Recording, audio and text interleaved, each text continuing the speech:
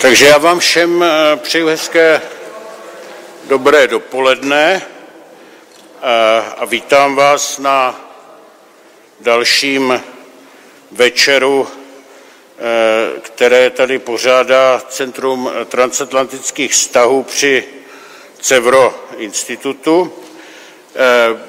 Předpokládám, že všichni víte jednu změnu, že obvykle tady máme komunikaci v angličtině, takže eh, nyní eh, to bude v Němčině. Takže kdo ještě nemáte interpretační zařízení, tak si ho můžete mezi tím vyzvednout. Já kvůli tomu také mluvím na začátek česky. A zároveň si ještě dovoluji upozornit na příští akci, kterou tu budeme mít Eh, Jednak teda máme nějakou akci mimo ten režim čtvrtku eh, první polovině června eh, na téma spolupráce Česka a Německa v oblasti obrany a bezpečnosti, ale to budou zvláštní pozvánky, ale v rámci těchto regulérních čtvrtků, tak 22. června si vás všechny dovolí pozvat. Přijede sem z Maďarska Andráš Lenči, konzervativní eh, spisovatel a politolog. Eh, a budeme velmi zvědaví a ještě k tomu hledám nějakého českého partnera eh, na takové aktuální téma, jak vlastně konzervatismus v Maďarsku, Šoroš a podobně, čili se na to velmi těším a bude to poslední akce ještě před prázdninami. Jinak Dnešní téma, eh, jak jste si mohli eh, přečíst, eh, zní celkem jednoduše. Klasická otázka, evropské Německo nebo německá Evropa. Dilema, které se objevovalo, velmi dobře si vzpomínám, začátkem 90. let, kdy taková ta jednohlasná odpověď nejenom z Německa, ale i z Francie a odinut v západní Evropě byla ano, bude, eh, bude evropské Německo. Dnes, eh, těch 20, 25 let poté, eh, já jsem si schválně vygoogloval v angličtině to European Germany or German Europe a Teď mě z toho dneska jako vyskočila taková lavina Carnegie Institute, Handelsblatt, a Project Syndicate, čili je to, a všechno v posledních několika měsících, čili eh, mám radost, že Cevro není v tomto smyslu eh, pozadu za nějakou eh, docela důležitou debatou. Každopádně ekonomicky je to téma už Eh, minimálně od, eh, od krize eh, eurozóny. Prostě euro je slabší, než by byla marka a je silnější, než by byl určitě frank francouzský. Konec konců ten pláč jsme mohli slyšet i těch francouzských prezidentských volbách, že jak, jak euro a německý surplus nebo přebytek zraňuje Evropu, to je, myslím, autentický výrok Macrona úplně eh, v tom finále eh, volební kampaně. Eh, s Brexitem, myslím, se mění ta situace významně z hlediska nějaké strategické rovnováhy. Prostě mizí ten tradiční balancér a není, myslím, od věci ani eh, diskuze v nějaké té kulturní oblasti. Že jo? My jsme angličtinu měli nějakou jako lingua franca, že jo? My, naše generace do toho hodně investovala a teď jako si kladu otázku, eh, co nás čeká, jestli se budeme muset učit německy a eh, tak dál. Čili celá řada je tu otázek, kdy nepochybně Německo, země, kde já, že můj dědeček skončil v Osvětimi, Zároveň Německo je dneska země, kam já rád jedu i na dovolenou, mám tam spoustu přátel, je to nejkrásnější Německo, eh, jaké vlastně historicky jsme asi kdy eh, měli, nejpříjemnější, nejpřátelštější, ale je tu ta otázka, je, je, je to takhle, bude to takhle i dál v budoucnosti. Hodně se upíná pozornost že jo, na, na německé parlamentní volby září. Takže to já si myslím, že všechny témata, která tady budou předmětem dnešní debaty a dovoluji si tu přivítat naše dva vážené hosty. Za prvé Rolanda Tichýho, který možná ještě tady v tom českém diskurzu není tolik známý, ale když zavítáte do toho světa německých internetových médií a i televizních diskuzí, tak vám vyplyne, že muž, který léta byl šéf-redaktorem Wirtschaftswoche, známý novinářem, tak je dneska neopominutelným účastníkem všech klíčových debat, nejenom o ekonomice, ale i o politice. A v čem bych řekl, aspoň z mého pohledu, se vymyká, že prostě neplave na takovém tom nudném prostě mainstreamu těch německých debat, které se jako bojí dotknout jakéhokoliv uživého tématu a pak z toho, jak si máme tu, tu nudu, která nás pak vyvolává ty otázky, co bude příště. Že? Protože každá společnost je občas jako papiňák a když se nepovolí ta pára, tak to samozřejmě může mít svoje důsledky. Tady je k dispozici, Roland Tichý přivezl svůj asi hlavní dneska médium komunikační, Tichý Signblick, který je k dispozici i na internetu, i v tištěné formě a několik výtisků je tady k dispozici, tak až budete odcházet, tak fančmekři jsou vítáni, aby si jeden vybral, vzali. Nemáme jich teda asi 50, tak to se omlouváme, že neuspokojíme všechny. Je to velmi známý ekonomický novinář, člen Montpellerinské společnosti, nositel Hájkovy ceny, zaujímající v tom, v tom spektru pozice liberálně konzervativní nebo konzervativně liberální. Druhým hostem a druhým hostem, druhým řečníkem v pořadí je Alexandra Rybiňská, kterou já jsem objevil poměrně nedávno, jsme se setkali na nějaké společné debatě. Já jsem se na ní připravoval, tak jsem se trošku podíval na internet a byl jsem úplně fascinovaný. Polská novinářka, která vyrůstala v Německu, dcera vlastně mimochodem velmi známého polského sportovního novináře, pak působila i ve Francii, do Polska se vrátila vlastně někdy před 15 lety, působí v tištěných internetových médiích, ale v Německu vstoupila, bych řekl, zaznamenala mimořádnou pozornost tím, že vlastně byla asi jediným hostem ze střední a východní Evropy, který byl zvaný do těch televizních debat v době, kdy vybouchla migrační krize v roce 2015 a ten ocelový jazyk a to sebevědomé vystupování jenom mohu doporučit se na ten internet podívat. Je tam několik videí k dispozici nejenom v Němčině, ale i v angličtině. A mě to fascinovalo jednou věcí, že vlastně je to takový ton, který tady my moc v tom diskurzu o Německu neznáme. Že jo? My máme buď takovou tu, jako že se kloníme, anebo pak z druhé strany všechno špatně. A tohle mi tady chybí. Takže já jsem velmi rád, že Alexandra přijala tu nabídku tady vystoupit taky, aby se trošku zapsala i do povědomí u nás v Praze. Já se teď uklidím tady do první řady a budu vděčně naslouchat, protože moderování celé té debaty se ujme přítel a vlastně jeden z mála českých novinářů, vím možná o dvou, kteří skutečně sledují debatu v Německu důkladně a ne v rovině nějakých takových těch nudných floskulí. Dan Kaiser, vám jistě dobře známý z týdeníku Echo i z webového serveru Echo 24. Závěrem bych chtěl poděkovat ještě nadaci Hans Seidel Stiftung, která nám s touto sérií pomáhá teď na jaře po finanční stránce za to, že se tomu také postavili čelem. A nyní si dovoluji pozvat k mikrofonu asi přímo hlavního hosta, pana Rolanda Tichého.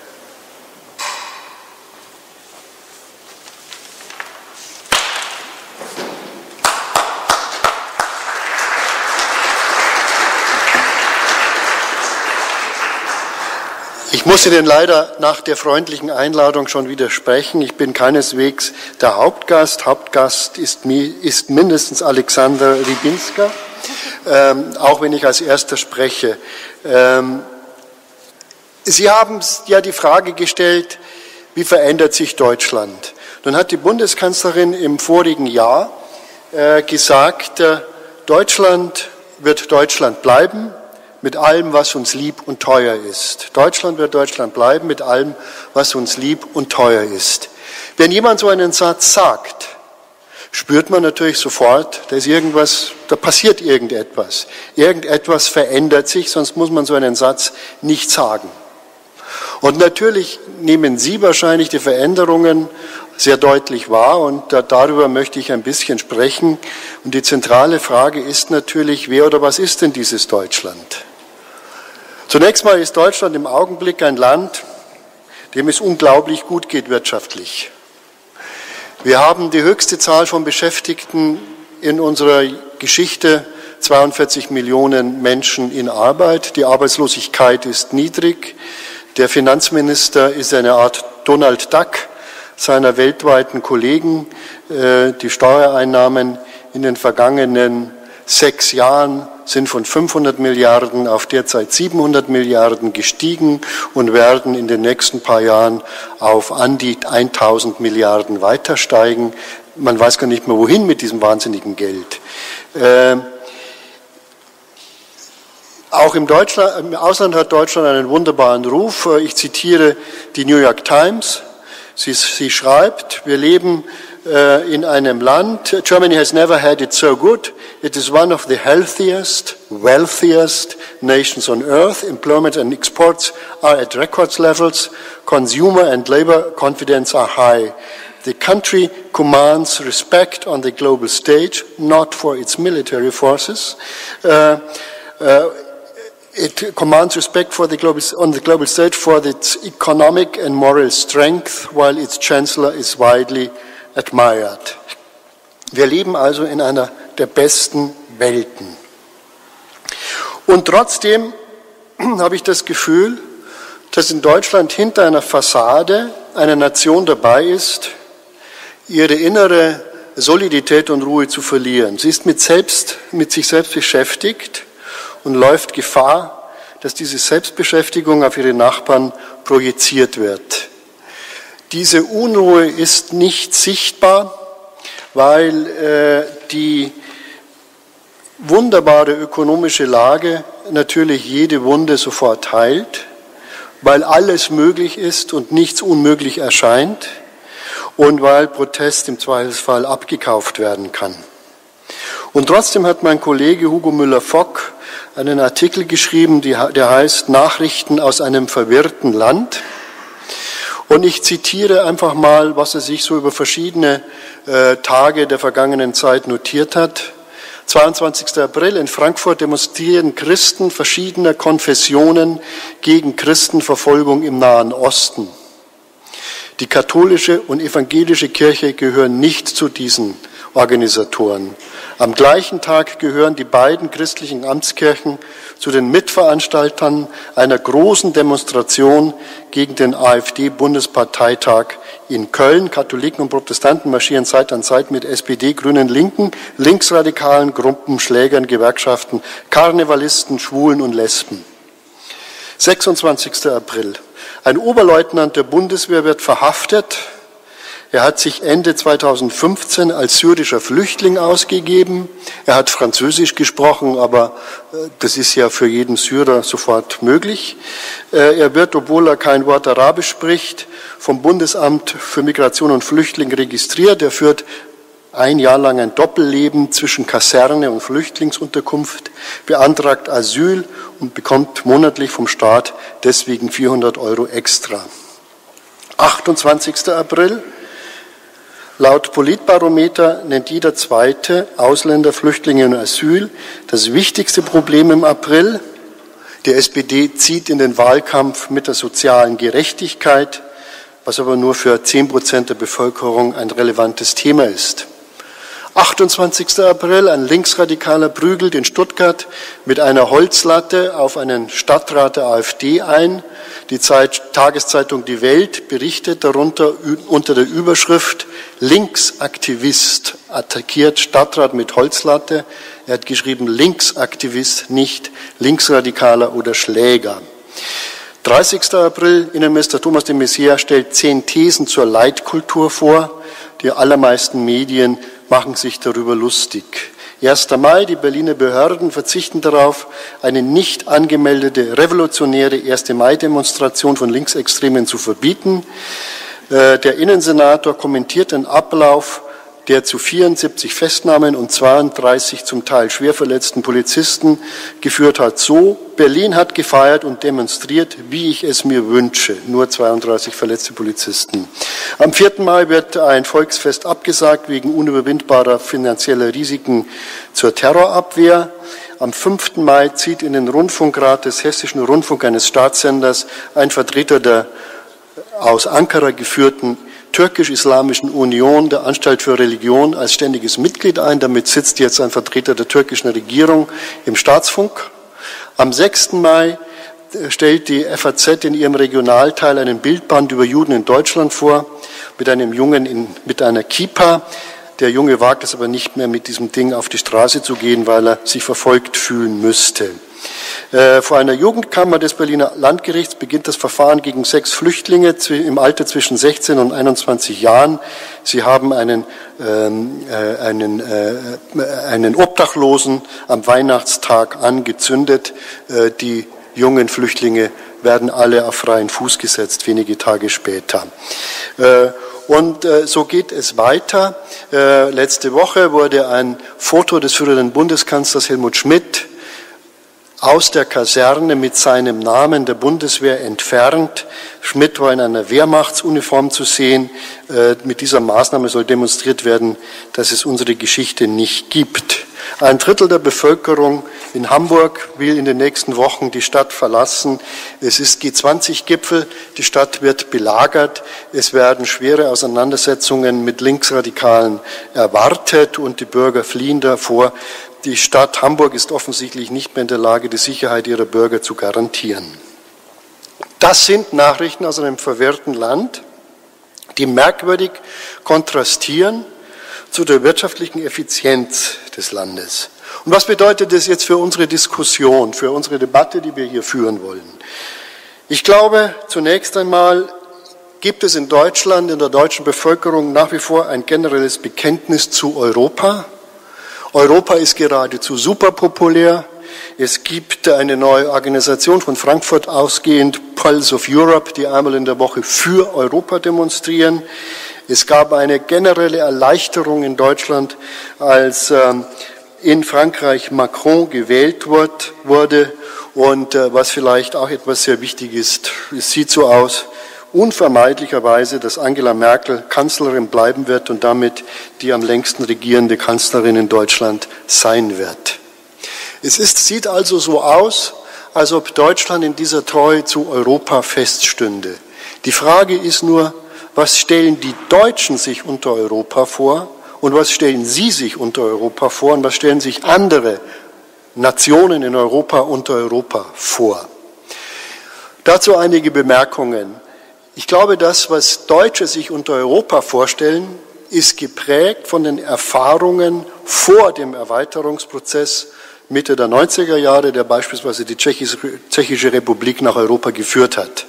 Es ist ein westeuropäisch geprägtes Bild von Brüssel und Straßburg aus gesehen. Es ist, wenn Sie so wollen, ein Bild der Bonner Republik in die Gegenwart projiziert. Die historische Bruchlinie, entlang deren in derer in Deutschland diskutiert wird, ist der 8. Mai 45, die, der Tag der Kapitulation. Es ist den Deutschen völlig fremd, dass äh, die osteuropäischen Nachbarstaaten äh, diesen Tag 8. Mai nicht so feiern, weil er für sie nur der Austausch einer Diktatur durch eine andere war. Die Wahl von Macron und die sich ankündigende Zusammenarbeit zwischen Deutschland und Frankreich, die sich wieder verstärken soll, äh, ist in dem Sinn für Europa zunächst eine positive Nachricht und im zweiten Sinn eine, die hinter der Fragezeichen anzubringen sind, weil es nur heißt, weiter wie bisher mit einer westeuropäisch geprägten Europäischen Union, in der die Osteuropäer keine Rolle spielen. Der Brexit wird in Deutschland als Störfall interpretiert. Irgendwie haben irre Wähler etwas entschieden und statt sich mit den Ursachen auseinanderzusetzen, wird in der Öffentlichkeit eher darüber nachgedacht, wie man demokratische Prozesse so gestalten könnte, dass nicht sogar ungewollte Ergebnisse eintreten. Aus deutscher Sicht ist auch nicht realisiert worden, und ich fürchte auch nicht aus osteuropäischer Sicht, dass Europa nicht Großbritannien verloren hat, sondern wir haben 20 Staaten verloren. Nimmt man nämlich die wirtschaftliche Bedeutung Großbritanniens, so entspricht sie der wirtschaftlichen Bedeutung der 20 kleineren europäischen Länder. Dieses Bild mag Ihnen deutlich machen, zu welcher ungeheuren Gewichtsverschiebung es innerhalb Europas durch den Austritt Großbritanniens gekommen ist. Die wirtschaftliche Dominanz Deutschlands erhöht sich weiter. Sie hat sich erhöht, einfach weil im Zuge der Wiedervereinigung Deutschland größer geworden ist und weil in den vergangenen Jahren durch die gute wirtschaftliche Entwicklung Deutschland naturgemäß aus innerem Wachstum heraus äh, Bedeutung gewonnen hat. Bis 2005 galt Deutschland als der kranke Mann Europas. Dieser kranke Mann hat seinen Rollstuhl verlassen und hat Muskeln und hat es noch gar nicht gemerkt. Die, frühere, äh, Konstellation von vier großen Ländern, wirtschaftlich gesehen, aber auch politisch, Deutschland, Frankreich, Italien, Großbritannien, ist verloren zugunsten von eben einem Drittel, äh, Entschuldigung, von, zu eine, zugunsten von drei Staaten, von denen Frankreich und Italien aus bekannten Gründen aber eher Problemfälle sind und nicht äh, gleichwertige, wirtschaftlich gesehen, Partner.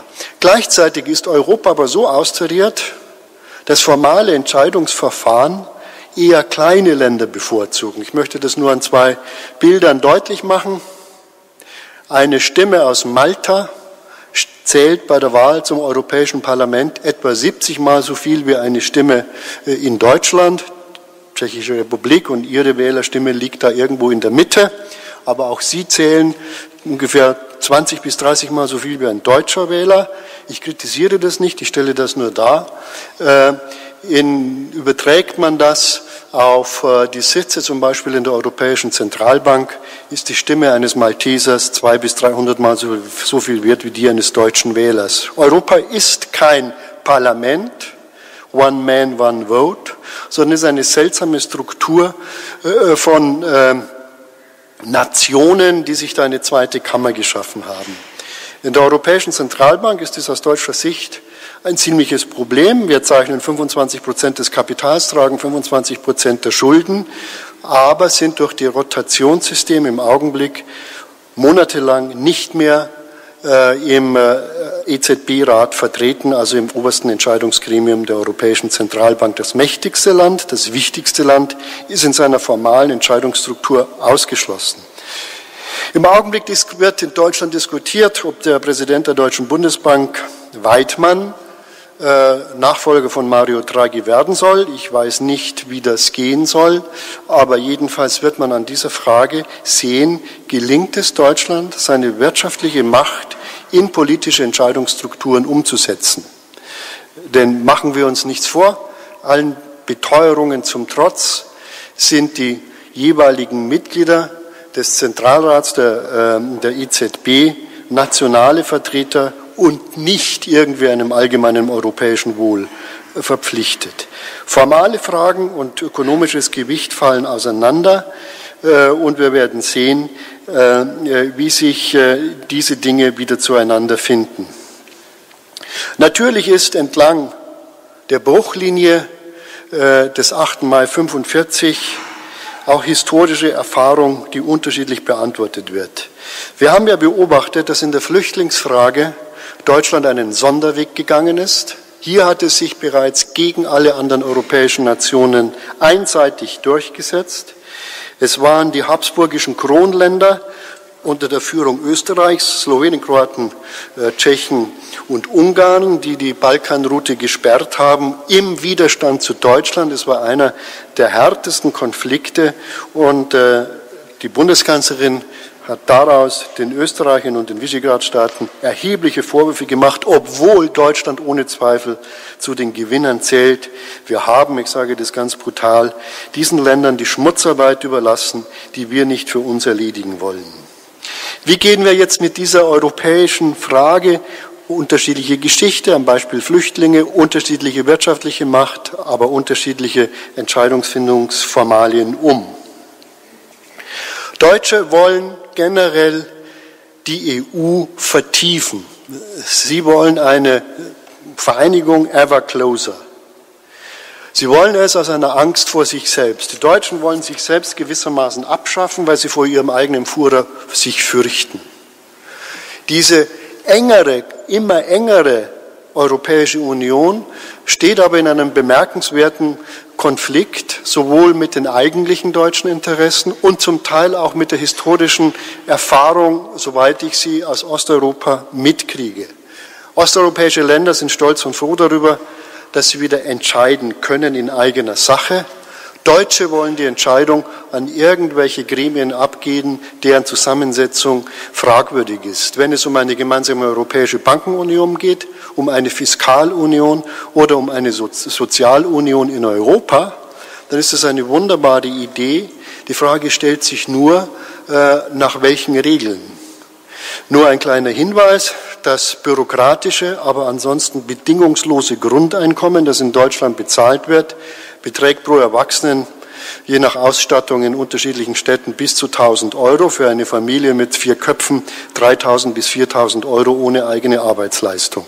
Die Frage ist, lohnt es sich in manchen südlichen und, osteuropäischen Ländern dafür noch acht Stunden am Tag äh, den Rücken krumm zu machen oder sich anzustrengen. Äh, die Frage ist, wie lang kann der deutsche Sozialstaat unter den Bedingungen der Auflösung von Grenzen weiter existieren? Sozialstaat war eine Errungenschaft von Staaten, getrieben von den sozialdemokratischen und sozialistischen Kräften. Es war immer eine Abgrenzung damit verbunden, um den Wohlstand der Nation innerhalb dieser Nation nach unten umzuverteilen, aber nicht nach außen. Die Frage ist, ist Deutschland bereit, seinen Wohlstand innerhalb Europas aufzuteilen? Nächster Punkt ist an dieser Stelle, dass dieses den Deutschen weitgehend unbewusst ist. Lange haben wir diese Debatte geführt unter der Überschrift des Euro. Der Euro, es ist klar, ist der Preis für die Wiedervereinigung. Er ist gewissermaßen die wirtschaftlich-politische Zähmung des entstehenden großen Landes in der Mitte Europas. Wir müssen uns aber auch darüber im Klaren sein, dass ohne Währungshoheit ein Wirtschaftsraum eines seiner wichtigsten Steuerelemente verliert. Das hat für Deutschland mehrere Phasen der Entwicklung hinter sich gebracht, die sich jetzt äh, in ihren Konsequenzen zeigen. In der ersten Phase war Deutschland der Verlierer des Euro, einfach deswegen, weil im internationalen Vergleich deutsche Industrieunternehmen sehr niedrige Zinsen bezahlten. Das war der Erfolg der stabil, des stabilen, äh, der, der stabilen D-Mark. Internationales Kapital floss nach Deutschland, stand deutschen Unternehmen zur Verfügung. Mit dem Euro ist dieser Vorteil einer stabilen deutschen Währung auf ganz Europa verteilt worden und Deutschland hat seinen relativen Vorteil verloren. In der zweiten Phase hat Deutschland begonnen, diesen Nachteil zu auszugleichen. Statt niedriger Zinsen haben wir vergleichsweise niedrige und liberale Arbeitskosten. Es ist die Reform äh, die in Deutschland unter der Überschrift Hartz IV läuft, durch Gerhard Schröder. Wir haben den verlorenen Nachteil niedrigerer Zinsen durch niedrigere Arbeitskosten ausgeglichen. Dies ist natürlich ein interessanter Fall, weil Deutschland intern zwischen Unternehmen und Gewerkschaften Reformen durchgesetzt hat, mit Hilfe der Bundesregierung, die in anderen Ländern derzeit unmöglich erscheinen. In der dritten Phase, in der wir uns jetzt befinden, ist Deutschland in einer geradezu unglaublich äh, vorteilhaften Lage. Wir haben erstens Nullzinsen, wir haben die Nachteile, dieser Nachteil ist weg. Wir haben zweitens vergleichsweise niedrige Arbeitskosten. Äh, und drittens, wir haben einen unglaublich günstigen Wechselkurs, vor allen Dingen zum Dollar, weil der Wechselkurs des Euros sehr viel günstiger für Deutschland ist, als ein D-Mark-Wechselkurs wäre. Betrachtet man die Real Terms of Trade, müsste Deutschland vermutlich mit einer deutschen Mark zum Dollar um 20 bis 40 Prozent höhere äh, Währungskosten tragen. Wir sind also, wenn Sie so wollen, die Gewinner. Wir fahren die Windfall Profits in unheimlich starkem Maße ein und haben 8,6 Prozent unseres Bruttoinlandsprodukts in Form eines Leistungsbilanzüberschusses mit dem Rest der Welt. Äh, übrigens ein kleiner Effekt. Holland, Niederlande, die ganz ähnlich operieren wie Deutschland, haben sogar einen noch höheren Leistungsbilanzüberschuss gemessen am Bruttosozialprodukt. Aber die Niederländer haben den Vorteil, eine kleine, unauffällige Nation zu sein und nicht so sehr in, äh, im Fokus etwa von äh, Donald Trump zu stehen. In dieser dritten Phase äh, operiert Deutschland mit einem weiteren Vorteil, nämlich der billigen Werkbank, äh, die wir in den Beitrittsländern aufgebaut haben. Beitrittsländer nenne ich dabei, dabei sowohl die hinzugekommenen Länder Deutschlands, die neuen Bundesländer, als auch Tschechei, Polen, Slowakei und andere osteuropäische Länder, die letztlich von der deutschen Industrie in Form einer Basarökonomie instrumentalisiert werden. Basarökonomie heißt, wir lassen billig in den Werkbänken Osteuropas fertigen, transportieren nach Deutschland, kleben Made in Germany drauf und verkaufen teuer. Äh, vor diesem Hintergrund ist die Kritik am Euro in Deutschland weitgehend verstummt. Allerdings ist Deutschland dadurch auch gefesselt an den Euro. Es wird den Euro niemals mehr verlassen können. Der sogenannte Target-Saldo, über den wir vielleicht in der Diskussion dann sprechen könnten, beträgt im Augenblick 850 Milliarden Euro.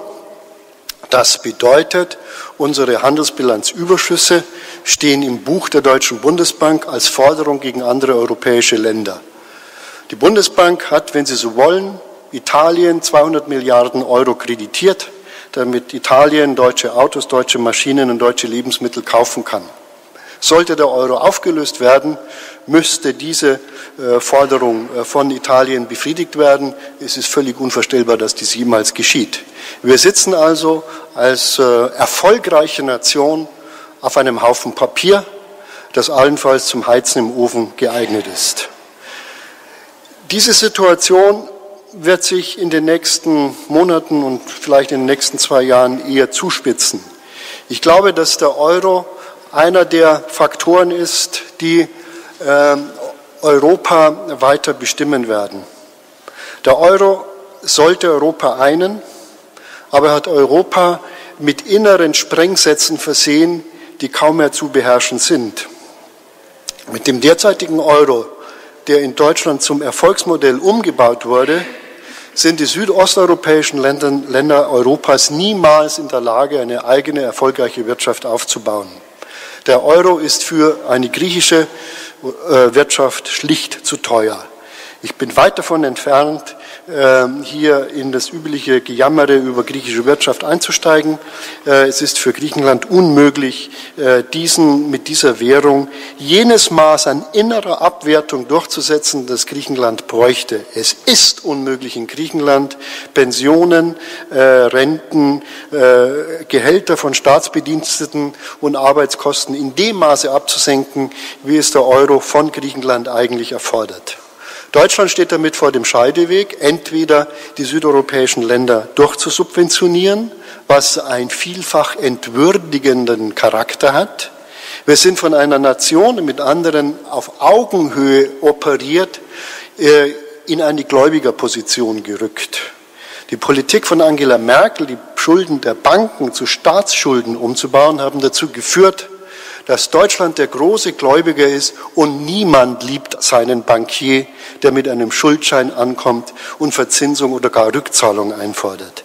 Wir sind die Händler geworden, die anderen Ländern Dinge abverlangen, die wir selbst zum Teil erfolgreich umgesetzt haben, aber eben auch nur Teil.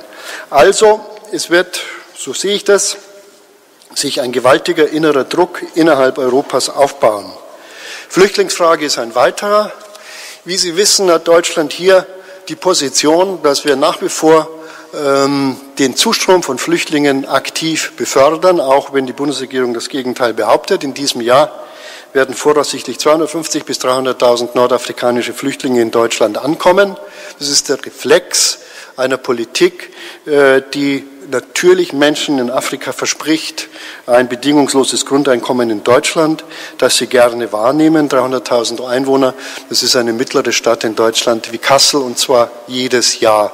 Die Anpassungslasten sind enorm. Wir lasten unserer Bevölkerung auch auf, und da komme ich nochmal zum Thema Euro, dass durch die Nullzinsen die derzeitige Rentnergeneration faktisch verarmt, weil ihre Anlagen, die alles in Zinspapieren im Wesentlichen liegt, weil ihre Anlagen wertlos geworden sind. Wir leben also auf Kosten unserer älteren Bevölkerung. Das ist jetzt ein paar provokante Thesen. Ich darf das kurz zusammenfassen. Einerseits eine gnadenlos großartige wirtschaftliche Lage in Deutschland, gleichzeitig eine innere Zerrissenheit, die auch durch die Folgen der Flüchtlingsbewegung ausgelöst sind, eine unklare Situation eigentlich hinsicht der, hinsichtlich der Entwicklung, welches Europa wollen wir und welches Europa wollen andere, eine unklare äh, Blickrichtung auf die Frage, wie gehen wir mit diesem Euro um, den wir einfach durchmanagen, irgendwie durchfinanzieren in einer Situation, den wir nicht, die wir nicht für, für, für möglich erhalten. Und wie gehen wir damit um? Dass manche Länder, wie zum Beispiel Großbritannien, aus diesem System aus unterschiedlichen Gründen auch immer ausscheiden wollen, was wiederum die Dominanz Deutschlands in diesem Rahmen erhöht. Vielen Dank.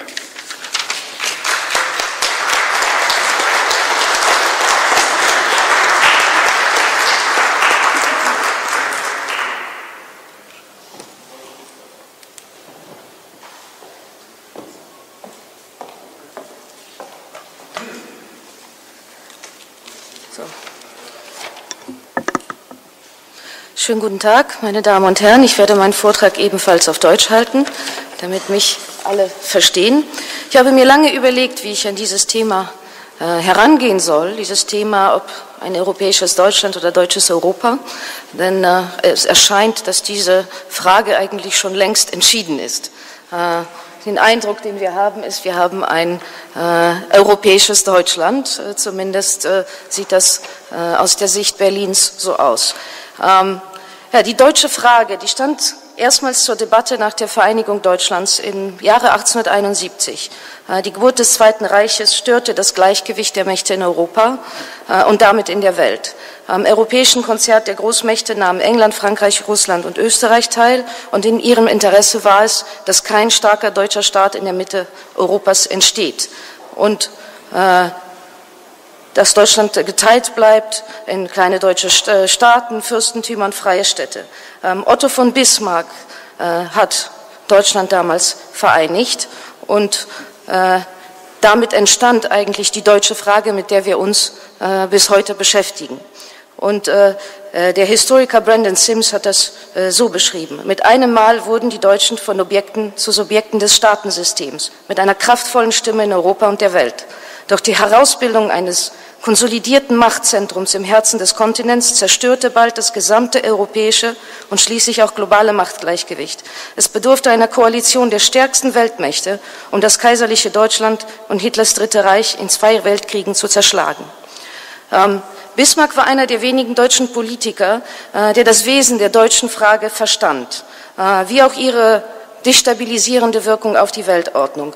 Ähm, er sprach deshalb von einer Sättigung äh, der deutschen Macht. Deutschland sollte nicht stärker werden, als es ohnehin schon war. Und äh, er wusste, das würde zu einer antideutschen Koalition führen und die letztendlich das die Existenz Deutschlands bedrohen würde. Und das ist ja auch tatsächlich passiert.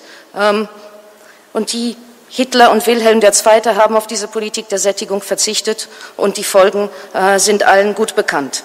Und äh, nach 1945 äh, kamen viele äh, deutsche Intellektuelle zu der Erkenntnis, äh, zum Beispiel der Marburger Professor Ludwig Deo, dass Deutschland äh, die Rolle eines äh, Halbhegemons gespielt hat. Das heißt, es war zu stark, um einfach nur ein Teil äh, dieses Kräftegleichgewichts zu sein, aber zu schwach, um äh, in Europa und auch in der Welt dominieren zu können. Und nach 1945 wurde Deutschland einen kommunistischen Osten, einen demokratischen Westen geteilt und machte einen Sinneswandel durch. Äh, man akzeptierte, dass es kein, keines deutschen Europas, sondern eines europäischen Deutschlands bedurfte, wie der Schriftsteller Thomas Mann das formuliert hat. Äh, das Projekt der europäischen Integration sollte Deutschland einhegen, indem es das Land strukturell unfähig und kulturell unwillig zu militärischer Aggression machte. Ähm, und diese Integration Deutschlands sollte das gewaltige militärische und wirtschaftliche Potenzial Europas für den Kampf des Westens gegen die sowjetische Bedrohung mobilisieren. Ähm, die Aufteilung der Welt in eine bipolare Welt anstatt in eine multipolare hat das natürlich auch erleichtert. Ähm, und ein, die Bonner Republik, die sich herausgebildet hat, war schwach und sah die Mitgliedschaft in der Europäischen Wirtschaftsgemeinschaft äh, als eine Gelegenheit, wieder in die Nation, internationale Gemeinschaft zurückzukehren. Äh, die politische und wirtschaftliche Integration äh, Westeuropas war ja eigentlich eine französische Idee. Äh, die von den USA gefördert wurde. Nach der Wiedervereinigung Deutschlands äh, folgte die Schaffung der Eurozone einem ähnlichen Muster. Die Franzosen haben den Euro äh, gefordert, denn sie sahen, ihrer Meinung nach lag die Stärke Deutschlands in der D-Mark. Und diese Stärke wollten sie eindämmen. Sie wollten verhindern, dass Deutschland Frankreich wirtschaftlich und politisch überholt. So. Damals sagte Hans-Dietrich Genscher, Außenminister im Kabinett von Kohl, äh, dass die Außenpolitik Deutschlands europäisch ist und nicht national. Äh, das war über Jahre äh, die grundsätzliche Linie. Und nachdem die Mauer fiel, hat Deutschland diese Politik der Westbindung fortgesetzt, obwohl ja die Welt wieder in Richtung einer multipolaren Konstellation ging, also sich neue Möglichkeiten eröffneten. Ähm, und eigentlich kam die Umorientierung äh, zu Beginn des 21. Jahrhunderts. Äh, Gerhard Schröder äh, hat das Konzept des deutschen nationalen Interesses praktisch neu definiert. Er hat eine strategische Allianz mit Moskau erneuert. Das heißt, er hat die deutsche Außenpolitik praktisch geöffnet, eine kontinentale Öffnung in Richtung Russland. Das ging auf Kosten der engsten Verbündeten Deutschlands in Mittel- und Osteuropa, die nämlich dafür sehr hohe Gaspreise bezahlen mussten. Ähm, das war eine bewusste Entscheidung. Äh, Deutschland, die deutsche Außenpolitik sollte nicht mehr abhängig sein zu 100 Prozent von dieser atlantischen Bindung. Ähm, und das ist etwas, was äh, neu war. Man hat dieses strikte Dogma der Westbindung verlassen. Äh, danach kam die Verweigerung eines, einer Teilnahme an der amerikanischen Intervention im Irak. Das war der nächste Schritt, wo Deutschland dieses äh, Partnership in Leadership mit den USA zwar nicht aufgekündigt hat, aber versucht hat, neu zu formulieren. Ähm, man wollte ein gleichberechtigter Partner sein. Äh, dieses, diese Unterstützung für die USA war nicht mehr automatisch. Äh, natürlich bleibt Deutschland der wichtigste Partner für die USA in Europa, in Eurasien. Die amerikanischen Stützpunkte in Deutschland ähm, sind natürlich weiterhin machen aus, dass diese Westbindung fortbesteht. Allerdings äh, in der letzten Zeit nach der Wahl von Donald Trump sind diese Beziehungen natürlich auch etwas schwieriger geworden, äh, da Deutschland sich dafür entschieden hat, gleich von vornherein äh, kritisch Donald Trump gegenüberzustehen und man weiß nicht, wie diese Beziehungen sich jetzt weiterentwickeln werden. Ähm, natürlich hat Deutschland außer Russland noch andere äh, Möglichkeiten, zum Beispiel eine äh, äh, gute Beziehung zu China. Natürlich ist das hauptsächlich eine Handelsbeziehung, aber sie kann, wenn Deutschland denn es wollen würde, auch einen politischen Aspekt annehmen. Man äh, sprach sogar zeitweise von einer Achse äh, Berlin, Moskau, Peking. Ähm, das sind alles Dinge, die möglich sind. Und wenn man sich das anschaut, dann gelang es Deutschland bis jetzt auf der internationalen Ebene sehr, sehr gut, diese bismarckische Idee, äh, dass Deutschland mit jeder Macht eine bessere Beziehung haben sollte als die Mächte untereinander. Und das konnte Deutschland sehr gut äh, in die Tat umsetzen. Wesentlich schlechter sieht das äh, auf der europäischen Ebene aus. Man hat angenommen, dass Deutschland in Europa eine Rolle, die Rolle eines Hegemons spielen wird vor allem durch diese Wirtschaftskrise, diese Finanzkrise, die die deutschen Partner wie Italien und Frankreich sehr stark geschwächt hat. Die haben äh, sehr stark verloren durch diese Finanzkrise an politischer und wirtschaftlicher Bedeutung. Ähm, das hat aber auch äh, schlechte Seiten, denn das bedeutet, dass es Deutschland äh, schwer hat. Deutschland hat eigentlich keine Partner, um die notwendigen Reformen in Europa durchzuführen, äh, sei es der Eurozone, äh, sei es in vielen anderen Bereichen. Äh, und das hat äh, dazu geführt, dass Deutschland in den letzten Jahren ziemlich alleine dasteht in Europa. Äh, die Diskussion in den deutschen Medien in den letzten Jahren, ich habe das verfolgt, äh, war eine Diskussion rund um die Frage, ob Deutschland nun ein Hegemon ist oder wieder zu, zu Zeiten wie zu Zeiten Bismarcks ein Halbhegemon äh, oder ob Deutschland ein gutmütiger Hegemon sein sollte oder weniger freundlich. Diese Diskussion äh, hat in den letzten Jahren die deutschen Medien sehr, sehr stark beschäftigt. Äh, äh, es sind viele Bücher erschienen. Ähm, Dominik Geppert, äh, ein Historiker von der Universität in Bonn, hat ein Buch herausgegeben, ein Europa, das es nicht gibt, die fatale Sprengkraft des Euro, äh, wo er eben sich auf diese, diesen Folgen der Eurokrise konzentriert hat und dass er in diesem Buch zeigt er auf, dass eben der Euro eine französische Idee war, zum ersten dazu geführt hat, dass tatsächlich die deutsche Wirtschaft, die auf dem Export basiert, äh, gestärkt wurde. Und äh, zum anderen natürlich Frankreich und die anderen Länder abgehängt wurden. Und der Euro hatte auch nicht die Wirkung, die er haben sollte. Das heißt, er hat Europa nicht näher gebracht, er hat äh, nicht dazu geführt, dass äh, äh die Konkurrenzfähigkeit der Länder sich, sich näher kommt, sondern ganz im Gegenteil, es hat Europa auseinanderdriften lassen. Ähm, man wollte natürlich durch den Euro natürlich die Integration, die politische Integration beschleunigen und eine tatsächliche politische Union äh, schaffen. Das Problem ist nur, man hat diesen Moment verpasst. Das heißt, 1997, 98, wo man die Währungsunion eingeführt hat, das war der Moment, wo man diese politische Union hätte äh, vorantreiben sollen. Äh, stattdessen kam die Osterweiterung. Und das ist zum Beispiel für die Franzosen eines dieser Elemente, äh, das sie bis heute bedauern. Wenn man jedes Mal, wenn ich in Frankreich bin, höre ich, die Osterweiterung war ein Fehler. Äh, man hätte damals äh, die Union stärker integrieren sollen. Man hätte in diese Richtung jetzt statt äh, auf die Osterweiterung zu stellen. Und das ist einer, einer der Gründe, warum äh, ich glaube auch äh, der neue französische Präsident Emmanuel Macron während der Kampagne in Frankreich nichts Freundliches über Polen zu sagen hatte. Denn ganz offensichtlich stören wir ihn nicht nur deswegen, weil wir jetzt die Waschmaschinen von Whirlpool produzieren werden, sondern da die Franzosen grundsätzlich meinen, Osteuropa ist überflüssig in dem Sinne. Ähm, das Problem natürlich für Deutschland ist, dass es wieder heute in diese Rolle gefallen ist, in der es tatsächlich zur Zeit Bismarcks war. Deutschland ist äh, zu stark für Europa, um dieses Gleichgewicht, das wir in Europa haben, nicht aus den Fugen zu bringen, aber es ist zu schwach, um seinen europäischen Partnern seinen Willen aufzuzwingen. Und das versucht es auch nicht. Das heißt, äh, natürlich ist, ich bin hier nicht so ganz mit äh, Ihnen einverstanden, denn ich glaube, also die Europäische Zentralbank wurde äh, nach dem Muster der Bundesbank äh, geschaffen.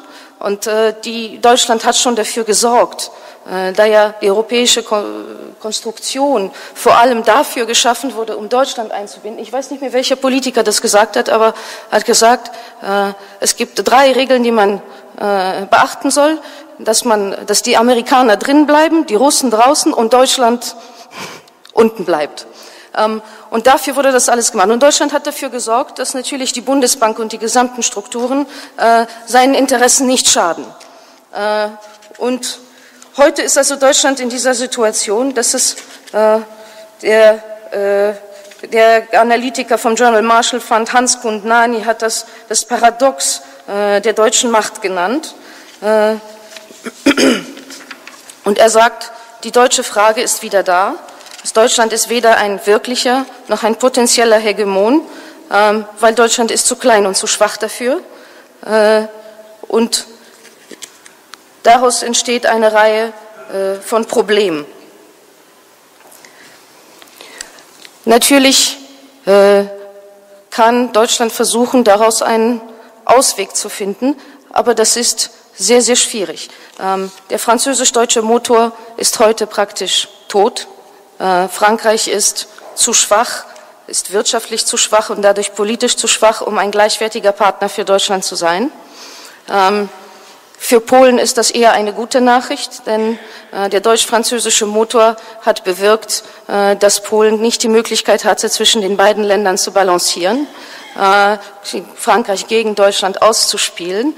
Und man sieht natürlich auch den Zustand des deutsch-französischen Motors am Weimarer Dreieck, äh, denn dieses Weimarer Dreieck funktioniert ebenfalls nicht. Ich glaube, es ist eine äh, Institution, in der keinerlei Entscheidungen getroffen werden. Ähm, so, das ist das, das eine Problem. Deutschland hat eigentlich äh, keine wirklichen Partner. Die Beziehungen mit Italien sind ebenfalls sehr schlecht. Äh, der ehemalige Premierminister Italiens, Matteo Renzi, hat offen davon gesprochen, einen antideutschen Block zu schaffen, äh, um sich gegen diese äh, äh, Politik zu wehren, die Deutschland in da, Italien, äh, diese Einsparungspolitik, die Deutschland Italien da aufzwingen wollte. Ähm, der Brexit ist im Grunde genommen, man sprach davon, der Brexit ist ein großer Misserfolg für Polen, da wir äh, einen wichtigen Vektor verloren haben in der Europäischen Union, äh, der es uns erlaubt hat, uns ein bisschen von Deutschland zu distanzieren. Das Problem ist aber, es ist ein viel größerer Misserfolg für Deutschland.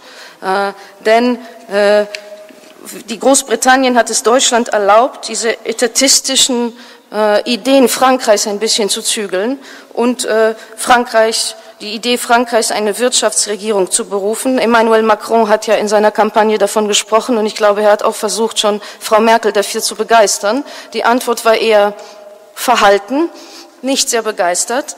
Ähm, und äh, das geht natürlich mit der Flüchtlingskrise, von der Herr Tichy gesprochen hat, weiter. Denn Deutschland hat nicht nur keine Partner in Westeuropa im Augenblick, sondern Deutschland hat auch keine Partner in Osteuropa. Denn auch hier sind die Beziehungen in einer großen Krise.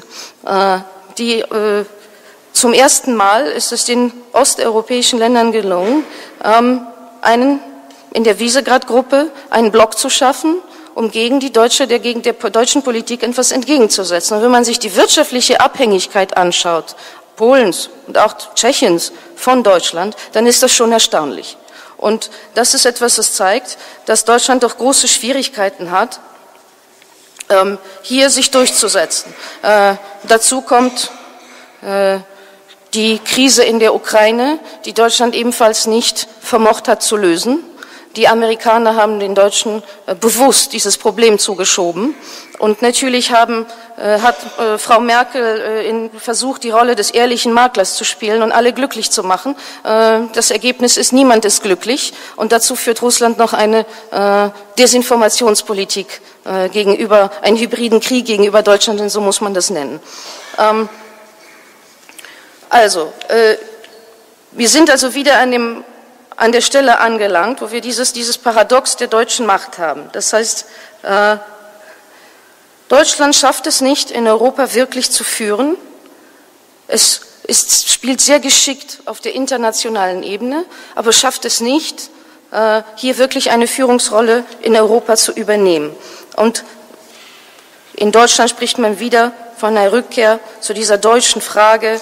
Äh, meiner Meinung nach ähm, ist die deutsche Macht aber gar nicht so groß, wie sie erscheint. Äh, Deutschland ist militärisch schwach. Wenn man sich anschaut, äh, äh, die Wirtschaftsleistung Deutschlands, dann äh, sehen wir, dass es äh, die deutsche Wirtschaft, das ist eine, ein Fünftel der äh, Wirtschaft der Europäischen Union. Und ich glaube, der, der, das Bruttoinlandsprodukt global gesehen, das ist, glaube ich, fünf Prozent des globalen Bruttoinlandsprodukts. Ähm, Deutschland ist in einer demografischen Krise. Äh, es wird, die Prognosen sagen, bis 2050 wird es 68 Millionen Deutsche geben und in dem Moment wird sogar Frankreich, wenn es dann gleiche, das gleiche Niveau an Bevölkerung beibehält, äh, wird es Deutschland also praktisch überholen. Ähm, ich glaube, die, dieses dieser Eindruck der deutschen Stärke ist in großer Maße auf sehr geschickte Public Relations äh, zurückzuführen. Das heißt, Berlin weiß sich zu verkaufen, äh, weiß, wie man dieses, diesen Eindruck von Stärke schafft. Äh, und natürlich ist Deutschland auch aufgrund seiner äh, Tradition, politischen Traditionen, wirtschaftlichen Traditionen, weiß auch sehr gut, äh, die europäischen Institutionen auszunutzen äh, und äh, die Regeln für sich zu nutzen die Regeln der Europäischen Union.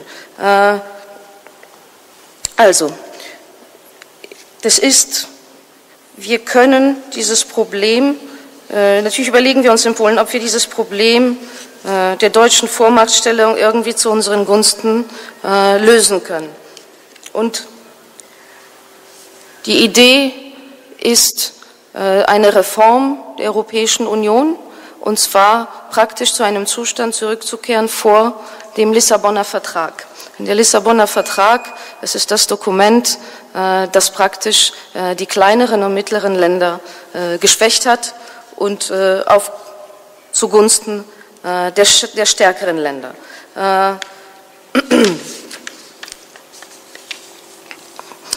Weil man voraussehen kann, dass der deutsch-französische Motor eher nicht wiederbelebt wird. Äh, obwohl man uns natürlich versucht, äh, hier den Schrecken einzujagen. Wir hören ständig, es wird ein Europa der zwei Geschwindigkeiten geben, aus dem Polen äh, und andere Länder, die da nicht mitmachen wollen, ausgeschlossen sein werden. Ähm, das würde aber voraussetzen, dass Deutschland sich bereit erklärt zu einer Transferunion, dass Deutschland sich bereit erklärt, äh, nicht nur Griechenland, und äh, Italien und Spanien, aber auch Frankreich zu finanzieren. Äh, das würde wesentlich mehr kosten als das ein Prozent, was Deutschland in das europäische Budget äh, ein, einzahlt. Die Frage ist, ob die deutschen Wähler das mittragen werden. Und äh, dass äh, diese Unmöglichkeit letztendlich äh, für Deutschland äh, die Krisen in der Europäischen Union zu lösen, da es nicht wirklich Partner dafür hat und da das voraussetzt, dass Deutschland sich bereit erklärt, den Euro mit aller Kraft zu retten, auch wenn es noch so viel kostet, das gibt eine Chance, dass tatsächlich eine Reform der Europäischen Union in die Richtung, in die Polen gerne möchte, dass sie geht. Das heißt, mehr Souveränität für die äh, Mitgliedstaaten, also weniger Europa. Äh, dadurch bleibt diese Chance bestehen und ich glaube, man sollte sie nicht äh, gleich als unmöglich erklären und trotzdem hoffen, äh, dass das passieren kann.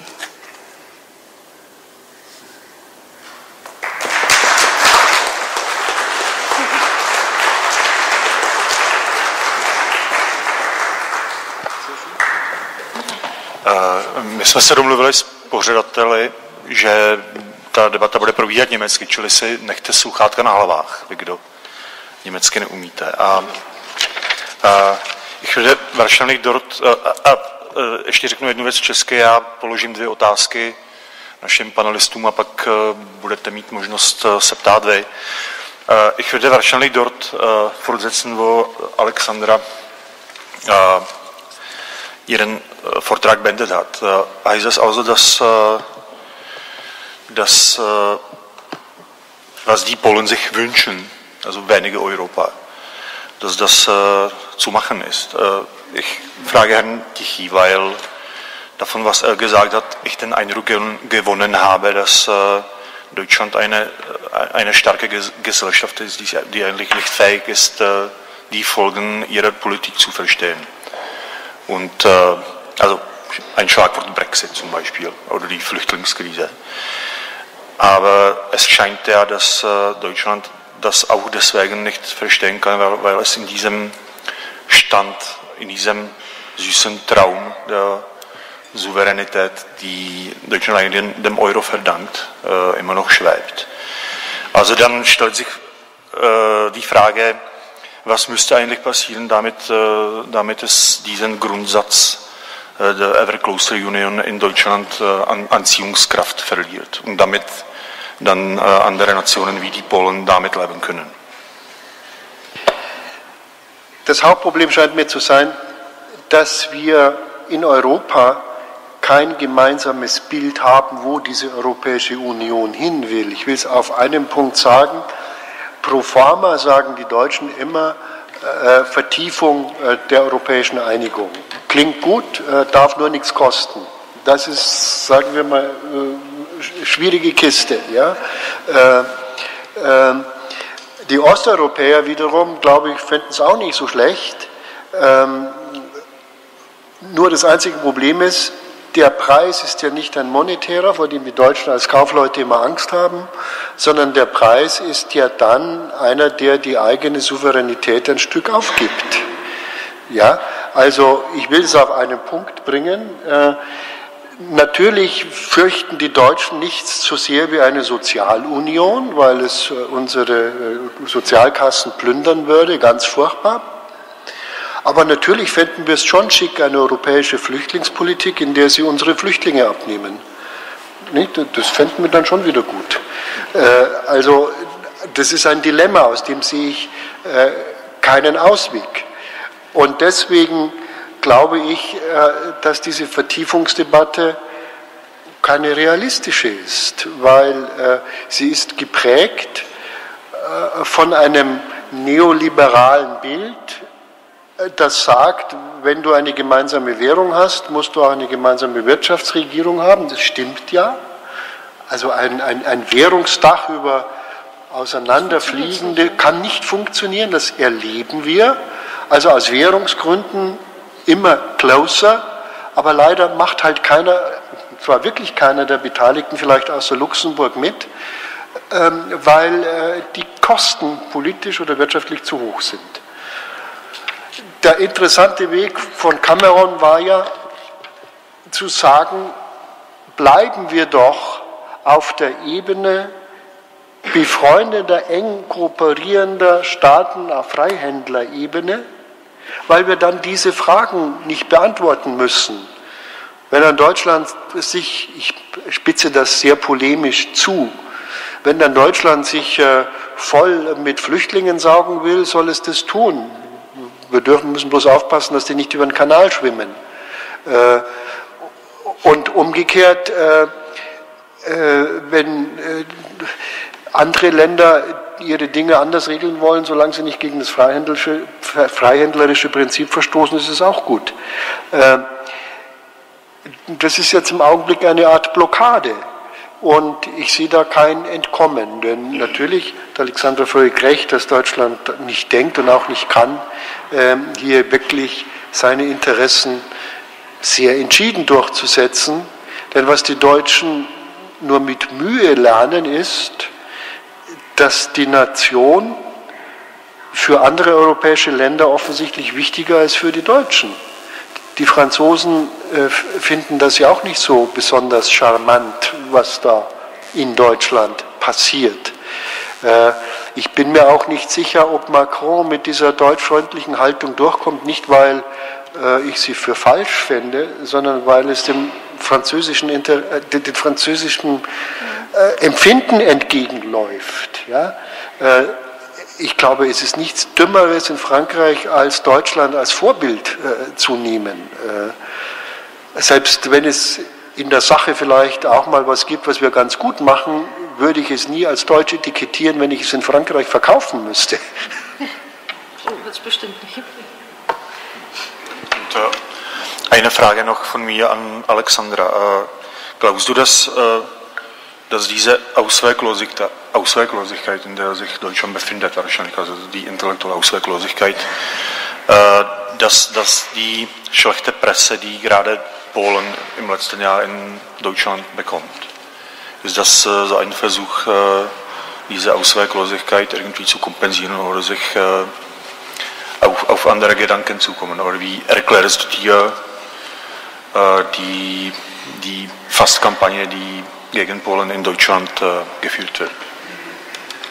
Äh, naja, also das ist, diese Frage ist schwierig zu beantworten, weil äh, natürlich die deutsche Regierung sagt, das sind die Medien und äh, äh, wir sagen den Medien nicht, was sie schreiben sollen. Die deutsche Regierung hält sich mit Bemerkungen zum Thema polnische Innenpolitik stark zurück. Äh, das ist äh, übrigens eine typische Haltung. Also da, wird, da kommt fast nichts. Und äh, was deutsche private Zeitungen schreiben, ist das Problem deutscher privater Zeitungen. Natürlich herrscht in Polen die Meinung vor, äh, da ja äh, in, in, Deutschland nach dem Zweiten Weltkrieg dieses Kooperationsmodell gewählt wurde, das heißt, alles ist miteinander verwoben, Wirtschaft, Politik, äh, Medien, herrscht in Polen die Meinung vor, dass das doch alles irgendwo zentral gesteuert ist und dass äh, die deutsche Regierung sich da praktisch so eine äh, ja, diese Taktik, die deutsche Regierung schwingt die Karotte und äh, die deutschen Medien hauen Polen dann mit dem Stock eins über. Und dass das, das eine koordinierte äh, Aktion ist äh, und die Druck ausüben soll auf Polen, um äh, eben in eine bestimmte Richtung zu gehen, die Deutschland gerne möchte. Ähm, ja, das Problem Deutschlands ist, ist, weil äh, Deutschland so eine Geschichte hat, kann es auch nicht zu offensiv auf seine Partner einwirken. Ähm, das würde einen schlechten Eindruck machen und es ist einfach nicht möglich. Ähm, dadurch ist es für Deutschland sehr schwer, wie ich gesagt habe, diese Führungsrolle zu übernehmen. Und äh, dadurch driftet das alles, dieses ganze europäische Projekt äh, auseinander, weil inzwischen geht ja jeder in eine andere Richtung. Und ich glaube, diese ganzen Medienberichte sind zum einen ideologisch eingefärbt. Das heißt, es gibt einen ideologischen äh, Kampf zwischen den europäischen Eliten, die eher linksliberal sind, und jeder konservativen Regierung, die es wagt, aus der Reihe zu treten treten. Wir haben das auch im Fall von Ungarn. Ähm, das ist das eine. Und das andere ist natürlich, äh, dass man, wie gesagt, diese Karotte- und Stocktaktik benutzt, um ein bisschen da äh, Polen in die richtige Richtung zu bewegen. Das funktioniert natürlich nicht. Also das ist äh, nicht sehr erfolgreich, diese Methode. Ähm, das sieht man jetzt zum Beispiel an der Flüchtlingsfrage, wo man schon wieder das Thema der Umverteilung der Flüchtlinge kommt und die polnische Regierung sagt, wir nehmen nicht einen einzigen Flüchtling. Also wir wollen zahlen. Wir werden zahlen. Wir werden die vier Milliarden zahlen und wir nehmen keinen einzigen Flüchtling. Und ich, die Tschechische Republik hat eine ähnliche Entscheidung getroffen und das funktioniert nicht. Und ich glaube, da ist äh, Deutschland ein bisschen in der Bredouille, weil es nicht so recht weiß, äh, wie es jetzt äh, sich seine Partner dazu zwingen soll, dass sie so machen, wie es Deutschland gefällt. Ähm, ich glaube, die europäische, Deutschland möchte gerne die Europäische Union als Instrument seiner Domination benutzen, aber das klappt nicht so richtig. Aber die Versuche sind natürlich da und äh, ich denke, es ist gut, dass sich die polnische Regierung dem entgegenstellt. Und diese Medienberichte sehe ich als ganz einfach eine, eine Versuch, Druck auszuüben. Ähm, und das ist eigentlich, das ist eigentlich alles. Und das ist kontraproduktiv, denn das, also in der polnischen Bevölkerung äh, werden diese Berichte sehr negativ aufgenommen und ich glaube, die Polen sind immer noch sehr proeuropäisch. Aber wenn das so weitergeht, dann wird sich das sicherlich ändern. Ich äh, würde da gerne ergänzen, weil ich nicht widersprechen kann, nur ergänzen. Ich bin deswegen hergekommen gerne, weil es keinen europäischen Diskursraum gibt. Wir haben keinen Euro, keine europäische Öffentlichkeit. Wir haben eine tschechische, eine deutsche, eine polnische äh, und wir haben eine in Brüssel. Äh, und äh, die Brüsseler, das europäische Projekt ist, abgesehen vom Sehnen der Völker und der Menschen, die schon wissen, dass ein gemeinsames Europa natürlich eine tolle Sache ist, aber abgesehen von diesem Sehnen ist es ein politischer Elitenprozess geworden. Und die politischen Eliten folgen unterschiedlichen Richtungen die europäische Elite in Brüssel in dritter Generation biologisch schon zieht ein europäisches Projekt der bürokratischen äh, äh, Zentralstaatlichkeit durch, jeden Tag stärker, wird dabei zum großen Teil auch von Deutschland unterstützt, ganz klar, weil wir dann natürlich auch ein ordentliches Teil äh, Vorteil äh, aus verschiedenen Ebenen haben. Dass der Diskurs in anderen europäischen Ländern woanders hindriftet, ist in diesem Konzept nicht vorgesehen. Es ist, wenn Sie so wollen, die liberale Ausgabe äh, eines historisch, äh, historischen Wirkungsprozesses, der nur ein Ziel kennt, das ist gemeinsames Europa. Dass sich die Osteuropäer dieser gemeinsamen marxistischen Weltsicht, dass es gewissermaßen einen naturgegebenen, die ganze Menschheit steuert, die ganze Menschheit auf einen bestimmten Zustand hinsteuert, den Brüssel bereits umrissen hat, äh, das sieht man da nicht ein. Und äh, wir haben in Deutschland natürlich einen ja, rot-grünen Grundkonsens. Und dieser rot-grüne Grundkonsens lautet halt eben, dass jemand wie Viktor Orban der Teufel ist. Und die Polen kommen gleich hinterher. Mit den Österreichern wissen wir es noch nicht. Die haben noch ein bisschen Glück gehabt, dass dieser Van der Bellen da gewählt wurde. Aber stellen Sie sich vor, ganz knapp, wer ist Hofer geworden? Das wäre eine fürchterliche Vorstellung. Wir sind gerade knapp dran vorbeigeschlittert. Äh, äh, von den Tschechen haben wir Gott sei Dank kein Bild, sonst würden wir auch mit dem Stock wahrscheinlich sagen, sie dürfen aber nicht so wählen, wie sie wählen. Also das ist ganz schlecht. Äh, und dieses Zusammenbinden einerseits eines sehr stark getriebenen deutschen Diskurses in eine bestimmte Richtung äh, und dem Abweichen anderer Nationen, ich bewerte das gar nicht, auch wenn ich das jetzt so fröhlich vielleicht vortrage, ja, äh, das ist nicht vorgesehen. Die Bewegungsrichtung ist nicht vorgesehen.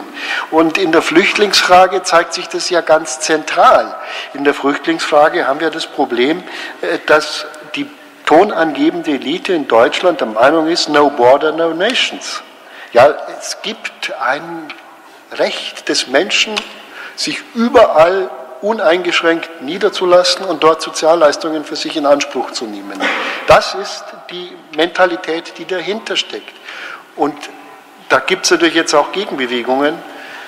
Wir haben in Deutschland eine langsame Gegenbewegung. Gerade fliegen die Grünen, die das sehr stark betrieben haben, Multikulti-Gesellschaft, fliegen da raus und die AfD kommt da rein. Also wir haben da einen Austausch von links und rechts.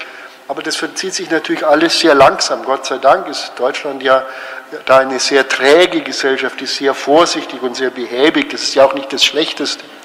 Denn wenn wir stürmisch werden, wird es ganz unangenehm für uns und andere. Ähm, also diese Behäbigkeit hat ja einen gewissen Vorteil, aber es gibt keinen europäischen Diskursraum und das ist das Problem. Äh, nur noch ganz kurz eine Zwischenfrage, was, was muss passieren, äh, damit der Grundkonsens, dieser rot-grüne Grundkonsens in Deutschland die Dominanz verliert? Naja, er ist ja gerade am Zerbröseln. Nicht? Also äh, wir haben ja eine unglaubliche Diskrepanz zwischen der Medienwelt und dem Erleben der Bürger. Äh, in diesen Tagen kam eine Untersuchung zutage aus den USA, die internationale Medienräume danach bewertet haben, wer berichtet positiv oder negativ über Donald Trump. Und plötzlich kam heraus, dass die deutsche ARD im Weltmaßstab die Newsorganisation war, die am negativsten über Donald Trump berichtet hat. Donald Trump kann morgen mit einem Heiligenschein äh, auftreten, den ihm Gott äh, verliehen hat im Akt der Gnade. Und die ARD wird darüber berichten, er hat ihn gestohlen. Also das ist ganz unvermeidlich, ganz egal, was Sie von Donald Trump halten, ist mir äh, völlig egal. Nur diese ausschließliche, manipulative, einseitige Berichterstattung äh, ist schon bedenklich. Ja, ich kann bestätigen, ich wurde aus einer ARD-Reportage herausgeschnitten. Es gab die Blockade des Sejm im Dezember letzten Jahres. Die Opposition hat den Sejm blockiert. Es kam die ARD-Korrespondentin, Frau von Petersdorf, und mit einer Kamera und wollte wissen, was ich davon halte. So habe ich 15 Minuten lang Unsinn geredet und habe mich gefreut, ich komme dann in dieser ARD-Reportage vor. Und dann schickte sie mir einen Link und da war ich nicht. Ich habe mir die gesamte Reportage angesehen, ich war nicht mehr da. Und es waren nur Leute von der Opposition, die haben das gesagt, was Frau von Petersdorf offensichtlich hören wollte. Und ich wurde aus dieser Reportage herausgeschnitten. Und sowas passiert leider, weil so sieht die Berichterstattung aus. Und das, das muss man einfach ganz klar sagen. Und äh, sie kam dann auch nie wieder, weil anscheinend hat ihr das so nicht gefallen, was ich gesagt habe, dass sie sich dann ein, ein zweites Interview gespart hat. So. Und dass es äh, leider nun mal keine Berichterstattung in Deutschland gibt über Polen zum Beispiel, die objektiv ist, äh, bewirkt natürlich dann auch, dass die Leute kein wirkliches Bild haben von äh, dem Nachbarland, das sie nicht nicht kennen. Und letztendlich erfahren sie auch nichts auf diese ja, Art und Weise. Nicht vorhandene europäische Diskursraum. Es gibt keinen deutschen Korrespondenten in Ungarn. Es wird ein DPA-Korrespondent aus Wien berichtet. Er bestimmt, gerade Ungarn ist ja ziemlich dumm dran. Ähm, es gibt es gibt praktisch keine europäische, es gibt keinen Austausch mehr. Ne? Und äh, ich lasse äh, aus guten Gründen ähm, meine Auftritte in den virtuellen Medien äh, ständig beobachten, weil ähm, ich äh, ähm, äh, ähm, da äh, eben meine Erfahrungen habe und äh, derjenige, der dieses macht, schrieb, oh, du bist mit Frau Ribinskaya auf dem Podium. Ich sage, ja, die ist toll. Die Antwort, äh, ja, ist sie, aber ist hier eine böse, böse Rechtsradikale. Ähm, also sie sind bereits gebrandet. Ja, ja das weiß ich. Sie sind gebrandet und ich kann das indirekt abrufen. Ja? Also, und wir etikettieren da auch. Und das ist kein Diskursraum. So kommen wir nicht weiter in Europa. Auch nicht in Deutschland. Die Frage ist natürlich, wie bricht man das in Deutschland auf? Naja gut, das versuchen wir halt. Já předpokládám, že budou otázky z publika nějaké, jak se můžete hlásit, kdo chcete.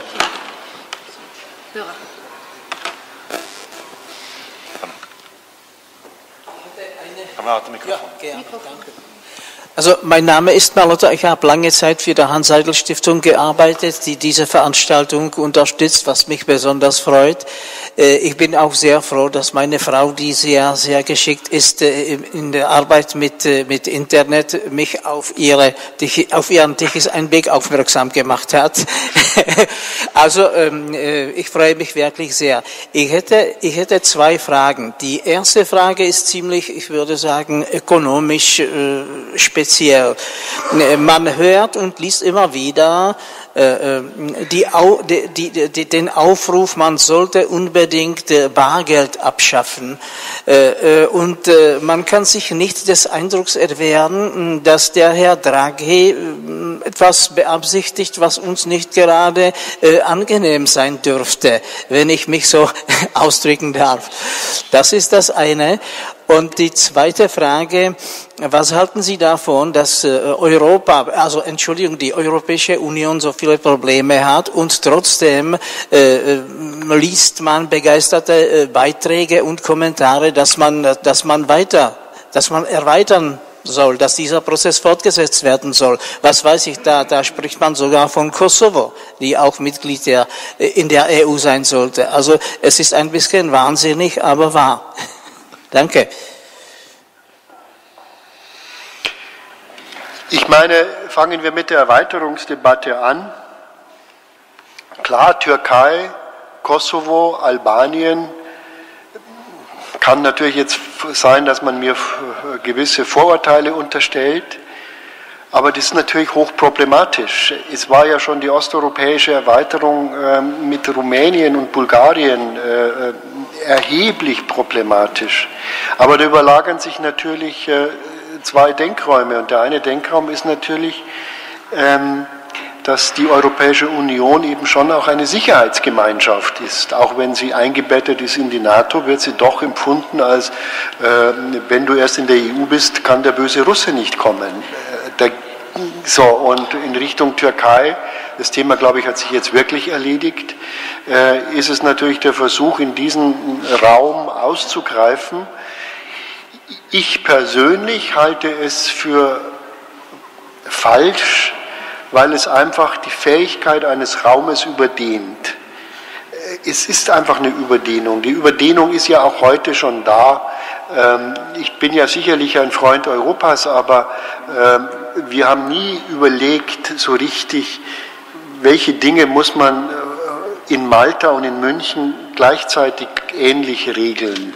Das kann nicht sehr viel sein, einfach weil die auch Herangehensweise eben eine andere ist. Ja?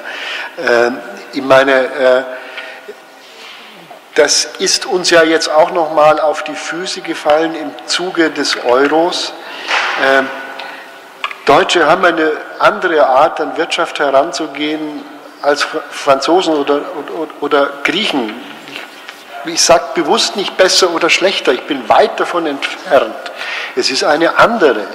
Und äh, vielleicht sind da die Deutschen disziplinierter oder auch äh, hochpräziser. Wir haben auch Systeme mit Ludwig Erhard entwickelt des sozialen Ausgleichs zwischen Gewerkschaften und äh Äh, also was in Frankreich der Fall ist, dass äh, wenn eine Fabrik geschlossen wird, ähm, die Patrons eingesperrt werden und, und drei Wochen belagert werden, ähm, das gibt es halt in Deutschland nicht. Äh, mir hat mal ähm, André van der Leyen, der ein uralt Unternehmer aus äh, Flamen war und Aqua Gewert sein eigen nannte, erzählt, er sei, habe seiner Frau gesagt, er fahre nach München, um das Kamerawerk zu schließen, großes Aqua Kamerawerk, viele Beschäftigte. Seine Frau sagt, ich packe dir ein paar Brote ein. Und er sagte seiner Frau, musst du nicht, die Deutschen machen das nicht. Ja? Äh, er hatte recht. Also wir haben ja andere Methoden, auch nicht schlechte, äh, aber wir haben andere und Folgen sind auch bekannt. Bargeld äh, ist eine obskure Geschichte. Äh, Bargeld ist unkontrollierbar, unter Überwachungsstaat hasst das Bargeld. Alles ist verfolgbar, mit, äh, sobald sie es eben elektronisch machen.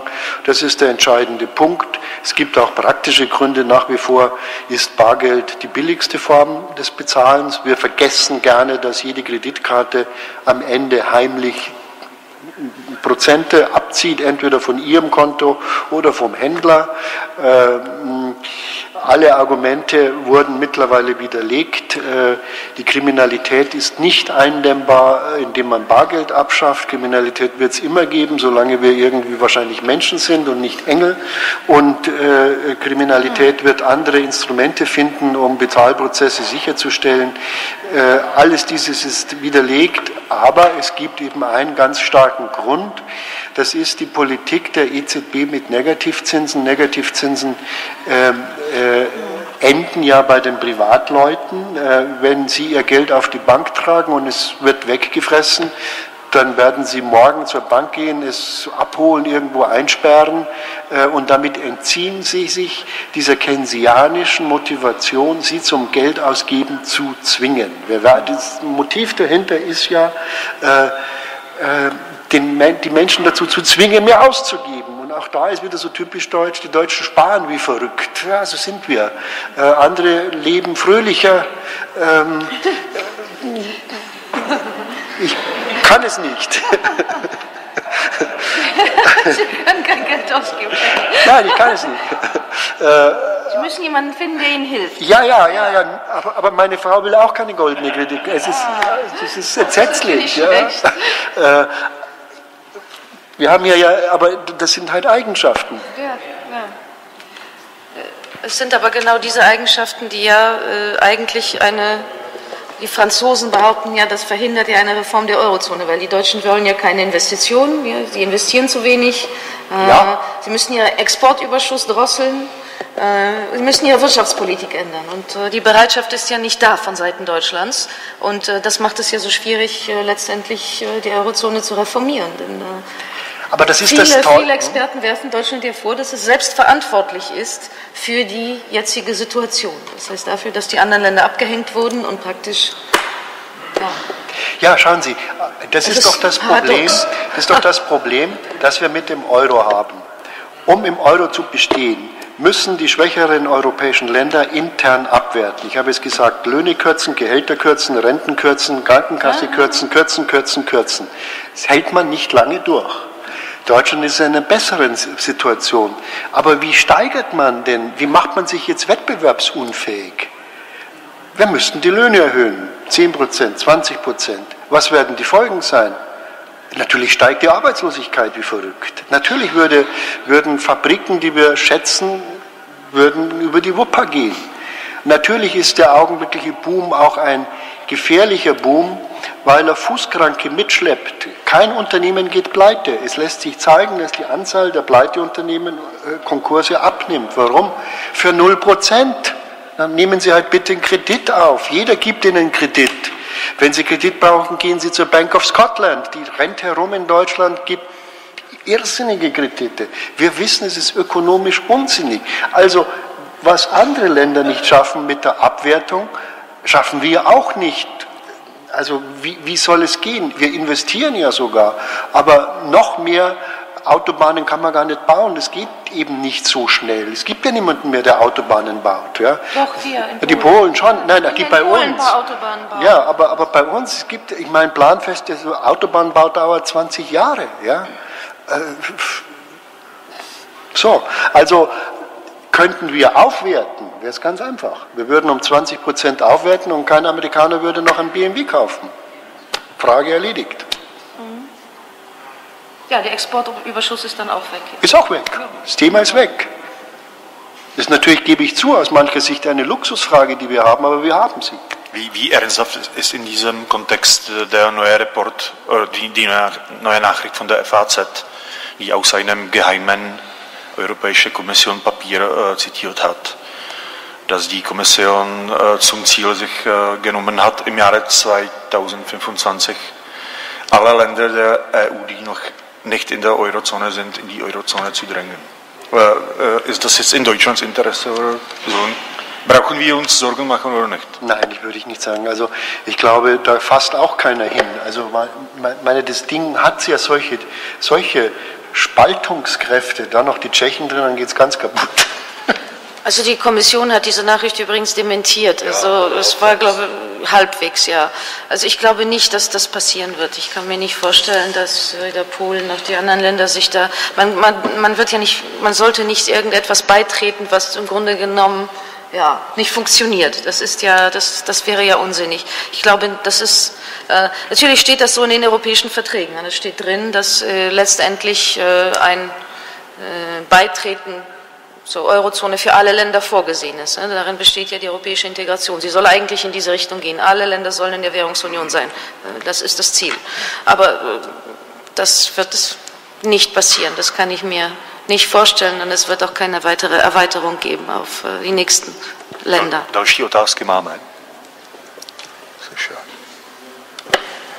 A někdy v roce 2000, když byl launch eura, tak Martin Feldstein, slavný harvardský americký ekonom, napsal článek EMU and International Conflict, kdy v zásadě tehdy v té lavině těch optimistických mundelovských předpovědí on naopak předvídal, že ta konstrukce eura, jak je daná, tak bude vyvolávat permanentní tlak na tu fiskální a politickou unii, přičemž vlastně to bude mít přesně opak pravej, že nebude prostě konvergence, ale bude divergence a vlastně jako by ta jeho předpověď tehdy byla, že to může vyústit až v Evropě v mezinárodní konflikt neboli válku. Dneska je, jsme prostě o nějakých 15-17 let dál. Jak jakoby vidíte tohleto, tu jeho temnou předpověď? Ja, sie hat sich letztendlich bewahrheitet. Äh, es hat zu einer Konvergenz, äh, zu einer Divergenz geführt in, in Europa. Es wird zwar oft gesagt, dass natürlich etwas für etwas, das heißt, die Südländer können zu billigen Zinsen Kredite bekommen und Geld borgen und dass jeder im Grunde genommen etwas davon hat. Aber wir sehen ja, dass, also meiner Meinung nach hat es nicht nur zu einer Divergenz geführt, sondern es hat eben dazu geführt, dass sich Europa in ein Zentrum und eine Peripherie aufgeteilt hat. Und das sollte ja eigentlich nicht sein. Das heißt, wir haben ein Zentrum, einen, einen Kern praktisch, und dann haben wir die Peripherie, zu der Griechenland gehört, zu der auch wir, Polen gehören, zu der die ost- und mitteleuropäischen Länder gehören. Und das ist ja das, das ist ja das, was im Augenblick dieses Konfliktpotenzial gibt. Das heißt, im Grunde genommen streiten wir uns ja darum. Die Polen beschweren sich, dass Helmut Kohl immer an die kleineren, mittleren Länder gedacht hat und dass das eben nicht mehr passiert. Das heißt, dass wir keine, kaum eine Rolle spielen. Und dazu hat eigentlich der Euro äh, wirklich sehr stark beigetragen. Und äh, jetzt sind wir natürlich in der Situation, dass wir nicht wissen, wie wir das korrigieren sollen. Ähm, das ist letztendlich das äh, Dilemma, vor dem auch Deutschland steht. Und äh, ich glaube, bis jetzt, äh, also ich habe keine, persönlich sage auch ganz ehrlich, ich habe auch keine tolle Idee, wie man das alles lösen könnte. Und ich glaube, guter Rat ist hier äh, teuer. Also erstens war natürlich die Europäische Währungsunion keine deutsche Idee. französische Idee. Es war eine französische Idee, Sie haben es gesagt. Ungefähr 250 deutsche Ökonomen haben auch dagegen protestiert und eigentlich vorhergesagt, soweit man das kann, was passiert ist, nämlich wachsende Divergenz statt Konvergenz. Äh, man schafft halt die griechische Wirtschaft so nicht auf die Beine zu stellen. Im Gegenteil, wir haben sie zerstört. Das muss man mal ganz nüchtern sagen. Griechenland hatte ganz gute petrochemische Industrie, Griechenland hatte gewisse Landwirtschaft. Äh, die holländischen Tomaten werden in Griechenland verkauft. Ich meine, irrer geht es nicht mehr. Also verrückter geht es nicht mehr. Wenn Sie in Deutschland einen griechischen Joghurt essen, kommt er aus dem Allgäu, aber nicht aus Griechenland. Es ist völlig irre, weil einfach die Effizienz des jeweils stärksten Landes, die industrielle Effizienz des jeweils stärksten Landes alles an sich zieht in einem gemeinsamen Währungsraum, weil sie ihre Vorteile die durch die Effizienz und durch die Größe kommen, gnadenlos skalieren können. Sie haben keinen Platz mehr für eine kleine griechische Molkerei. Sie wird weggedrückt. Äh, und das ist das Phänomen. Und die zweite Irrtum war ja, dass man sagt, es ist ja in Amerika nicht anders gewesen, bis sich der Dollarraum vereinheitlicht hat, hat es 150 Jahre und auch einen Bürgerkrieg gebraucht. Die Frage ist, ob wir den haben wollen. Ähm, äh, aber wenn man sich die USA anschaut, hat man ja auch den Zweifel, ob das wirklich so gut funktioniert. Es gibt die Ostküste, die super gut läuft, weil sie in den Handelsbeziehungen zu Europa steht. Es gibt Kalifornien, was gut läuft. Und dazwischen verreckt ja auch dieses Land. Äh, das Problem, warum Donald Trump gewonnen hat, ist ja, weil es eben viele Menschen gibt, die für sich keine Chancen mehr sehen. Und irgendwelche amerikanischen Provinzstädte, die ja auch in diesem Globalisierungsdruck verrecken, ich kann, mir fällt da kein anderes Wort ein dafür, werden mit einem eigenen Währungsraum vielleicht auch wieder. Es ist keine politische, verstehen Sie mich nicht falsch, es ist nicht, dass irgendjemand zitiert, ich will den Dollar auflösen für einen kalifornischen Franken oder sowas. Nicht mein Motiv, sondern ich versuche es nur mir ökonomisch vorzustellen. Ja?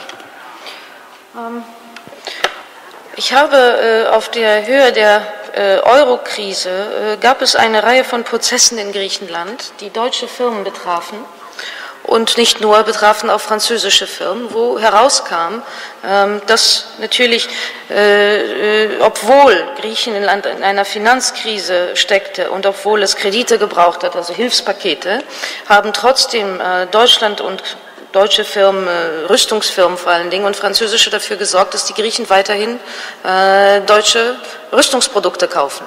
Das heißt, man hat den äh, Griechen praktisch äh, U-Boote verkauft, äh, man hat dafür gesorgt, dass sie Rüstungsverträge einhalten, obwohl sie gleichzeitig äh, eigentlich vollkommen pleite waren.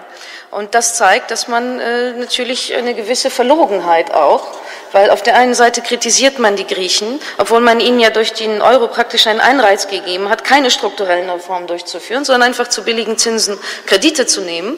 Und äh, man hat sie dann scharf kritisiert. Ich habe in der Welt gelesen, Griechen sind faul, äh, die können nicht arbeiten und so weiter und so fort. Und gleichzeitig kam dann heraus, dass deutsche Firmen, äh, es gab sogar in der, äh, in der deutschen Botschaft in Athen einen Vertreter dieser Rüstungsfirmen, äh, der dort saß und äh, es wurden von Firmen wie Siemens so weiter äh, praktisch äh, Bestechungsgelder gezahlt an griechische Politiker, damit die auch brav die U-Boote und die ganzen Panzer und so weiter kaufen. Letztendlich hat Griechenland jetzt die fünfstärkste Armee in Europa und ich glaube die meisten U-Boote ähm, und man weiß nicht, gegen wen sie Krieg führen wollen. Ähm, und das alles auf Höhe der Finanzkrise. Und da sieht man, ähm, dass das alles doch ziemlich verlogen ist. Es gibt sehr viel Hypokrisie in, diesem, äh, in dieser ganzen Europäischen Union. Und äh, mich persönlich äh, schockiert das. Also mich hat das schockiert, dass ich von diesen Prozessen erfahren habe. Die sind dann auch verurteilt worden, diese, diese ausländischen Firmen. Es waren nicht nur Deutsche, es waren auch Franzosen. Auch Sarkozy hat dafür gesorgt, dass Rüstungsverträge eingehalten wurden. Und da sieht man, ähm, ja, letztendlich wo die Fehler des Systems, äh, des Systems liegen. Und ich glaube, das kann so weiter einfach nicht funktionieren. Das äh, stelle ich ja, mir nicht vor. Ja, gut, nur stellen Sie sich jetzt vor, wir würden den Griechen nichts, keine Panzer verkaufen, dann wäre es auch wieder nicht richtig. Dann wäre der Hegemon, der den anderen entwaffnet. Die Realität ist, dass äh, Griechenland ungefähr 2500 bis 2800 Leopard-Panzer unter Waffen hält, Deutschland im Augenblick 120. Ich kann ja. nur sagen, hoffentlich, hoffentlich werden die Griechen nicht wirklich böse mit uns. Ja. Ähm, aber äh, Spaß beiseite. Die, äh, die Situation ist aber hier auf diesen Punkt gebracht, wo endet die nationale Souveränität? Wenn die Griechen aus Gründen, die ich nicht zu bewerten habe, meinen, sie brauchen so viele Soldaten, sollen wir europäisch sagen, ihr spinnt? Äh, vielleicht ist deren Furcht vor der Türkei ja auch berechtigt. Ich will mich da nicht bekennen. Also soweit Aber ich das verstanden habe, wurde Druck auf Griechenland ausge, äh, wurde Druck ausgeübt auf Griechenland. Wenn ihr die Panzer kauft und den Vertrag einhält, den Rüstungsvertrag, bekommt ihr das nächste Hilfspaket. Hm? Und das braucht ihr ja. Wenn ihr die Panzer nicht kauft, kriegt ihr kein Hilfspaket. Also soweit ich das verstanden habe, war das, wurde das sehr direkt den Griechen mitgeteilt, dass ihr äh, sozusagen wirtschaftliches Fortbestehen davon abhängig ist, ob sie von ThyssenKrupp weitere Panzer kaufen. Ich würde sagen, es, das, das ist, ist, mir ein bisschen zu weitgehend. Es wurden Bestechungsgelder bezahlt und das ist schon, reicht mir schon.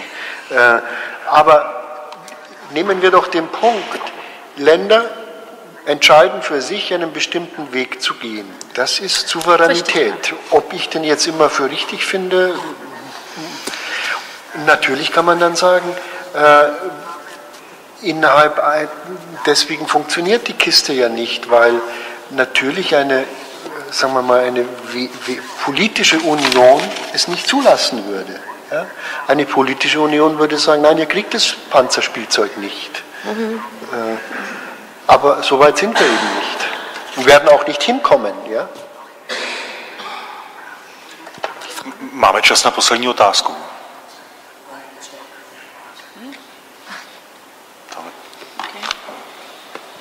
Pardon, já mám, já mám dvě na pana Tichého hlavně. Já se jmenuji Lenka Zlámalová, jsem komentátorka týdeníku Echo.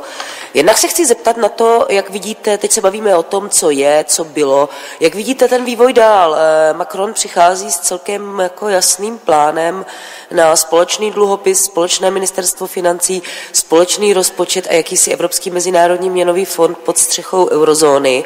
Eh, co z toho je podle vás pro Německo přijatelné? Zároveň bude tlačit zcela evidentně, a to řekl už v rámci prvních svých stadnů, na daňovou harmonizaci, pokud jde o daňový základ minimálně. Jak bude Německo reagovat na tyhle jeho plány? A druhá otázka moje se týká těch médií. Vy jste mluvili, jak se média úplně rozcházejí s názory veřejnosti. Jak se to projevuje v nějakém odklonu těch lidí jako diváků, posluchačů, čitatelů od těch médií? Nakolik ztrácí prostě náklad eh, v souvislosti s tím, nakolik jim ubývají diváci, posluchači? Děkuji moc.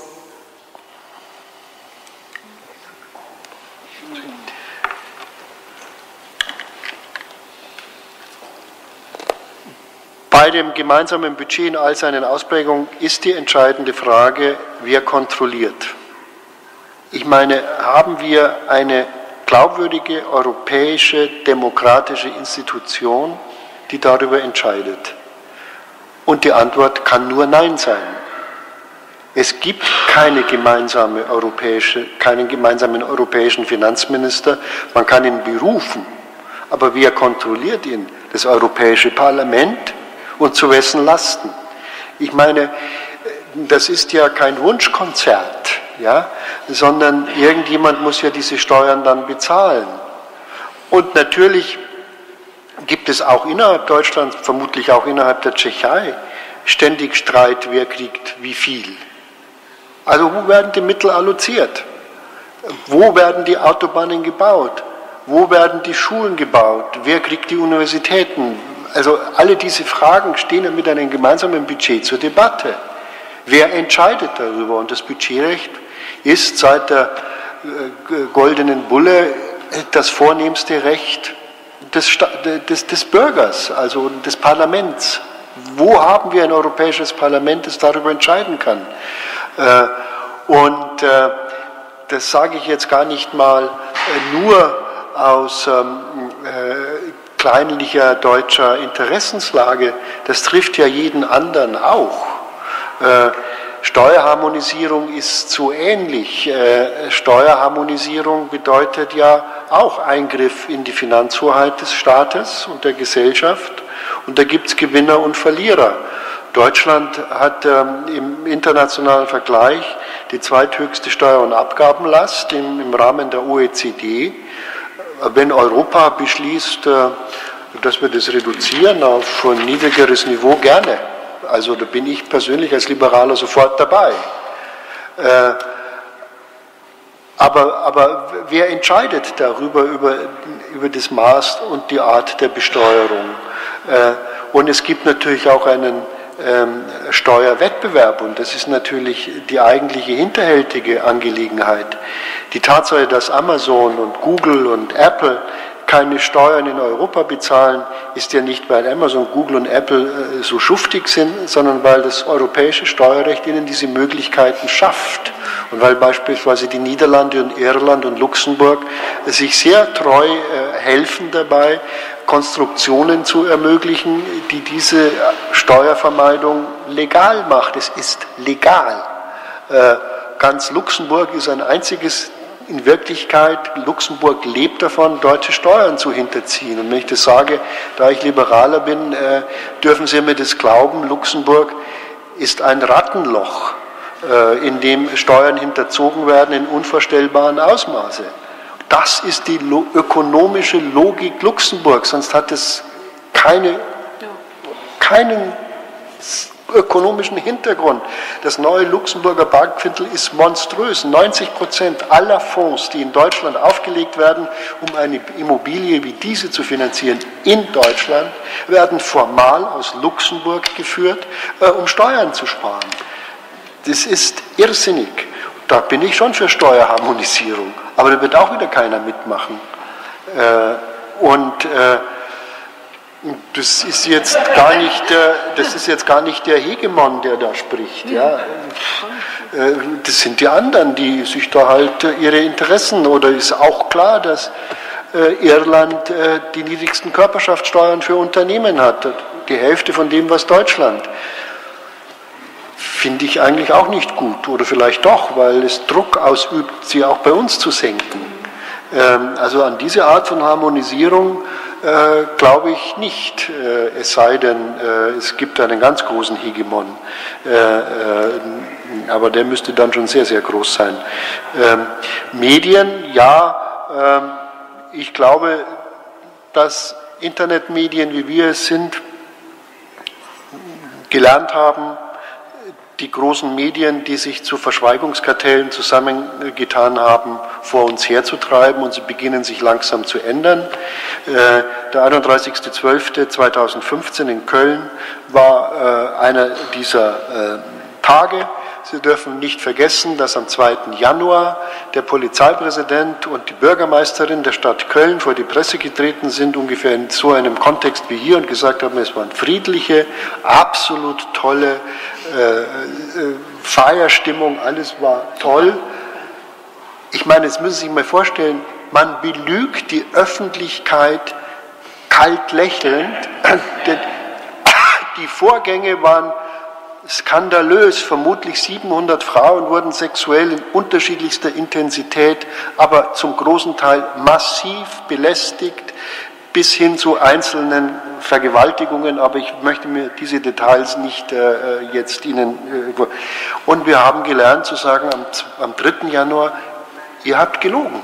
Und die Leute folgen jetzt uns und äh, haben äh, die großen Fernsehsender und Zeitungen dazu gezwungen, wenigstens langsam ähm, äh, hier äh, eine realistische Betrachtungsweise äh, durchzusetzen. Wir belügen uns weiterhin über viele Fehler. Wir haben, ich habe eine Wette verloren, als wir dieses Heft gemacht haben. Das ist jetzt ein bisschen der Werbeblock. Es geht um die Kriminalitätsrate von Ausländern. Ich meine, es ist unglaublich. Das äh, Bundesinnenministerium hat ein sehr faszinierendes Zahlenwerk veröffentlicht, das nur das Problem hat, dass es aus Zahlen besteht, was Journalisten nicht so gerne wollen. Und äh, wir sind eine Monatszeitschrift und haben natürlich da bis zum Erscheinen zwei Wochen. Äh, und ich habe mit meinem äh, Partner darüber gesprochen, habe gesagt, ich bin für dieses Thema, es ist ein spannendes Thema, aber ich fürchte, die großen Wochenzeitungen nehmen es, nehmen es uns weg. Mhm. Sie haben es uns nicht weggenommen. Sie haben es verschwiegen. Ich habe eine Flasche Champagner verloren und zwar gerne. Äh, darf ich Sie, Herr Tichy, in diesem Zusammenhang noch bitten, dass Sie uns die, diese Geschichte mit dem Versuch äh, um das wirtschaftliche Boykott gegen Ihre Seite ein bisschen zu erklären? Der Boykott funktioniert nach wie vor. Es gibt eine Organisation, die versucht, äh, ähm, Unternehmen dazu zu veranlassen, bei uns keine Werbung zu schalten. Äh, bei einigen Unternehmen funktioniert es, bedauerlicherweise bei den staatlichen Sparkassen, die ein großer äh, potenzieller Kunde wären.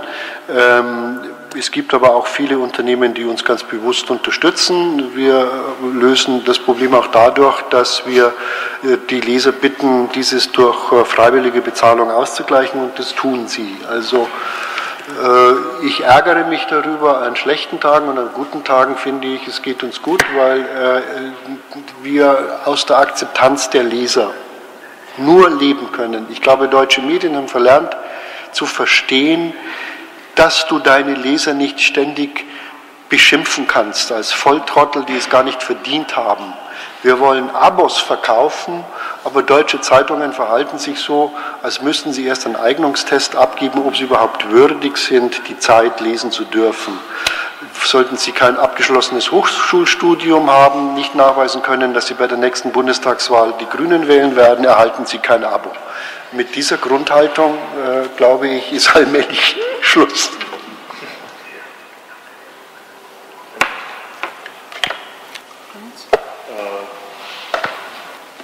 Já se obávám, že jsme na konci. Čili bych chtěl oběma našim hostům hrozně poděkovat. A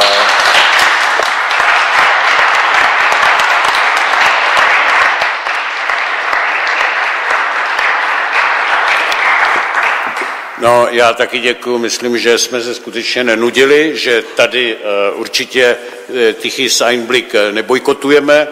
Eh, inzerujeme a eh, budeme to naopak inzerovat, protože já mám vždycky radost, když někdo přichází na debatu s takhle otevřeným eh, hledím jako a vidím, jak tady neusínáme, ale naopak smějem se, reagujeme a to je přesně tak, jak to má být. Čili ještě jednou i díky vám za účast, díky našim skvělým hostům a kdo bude mít náladu a chuť, tak 22. června Andráš Lanči. Díky a dobrou.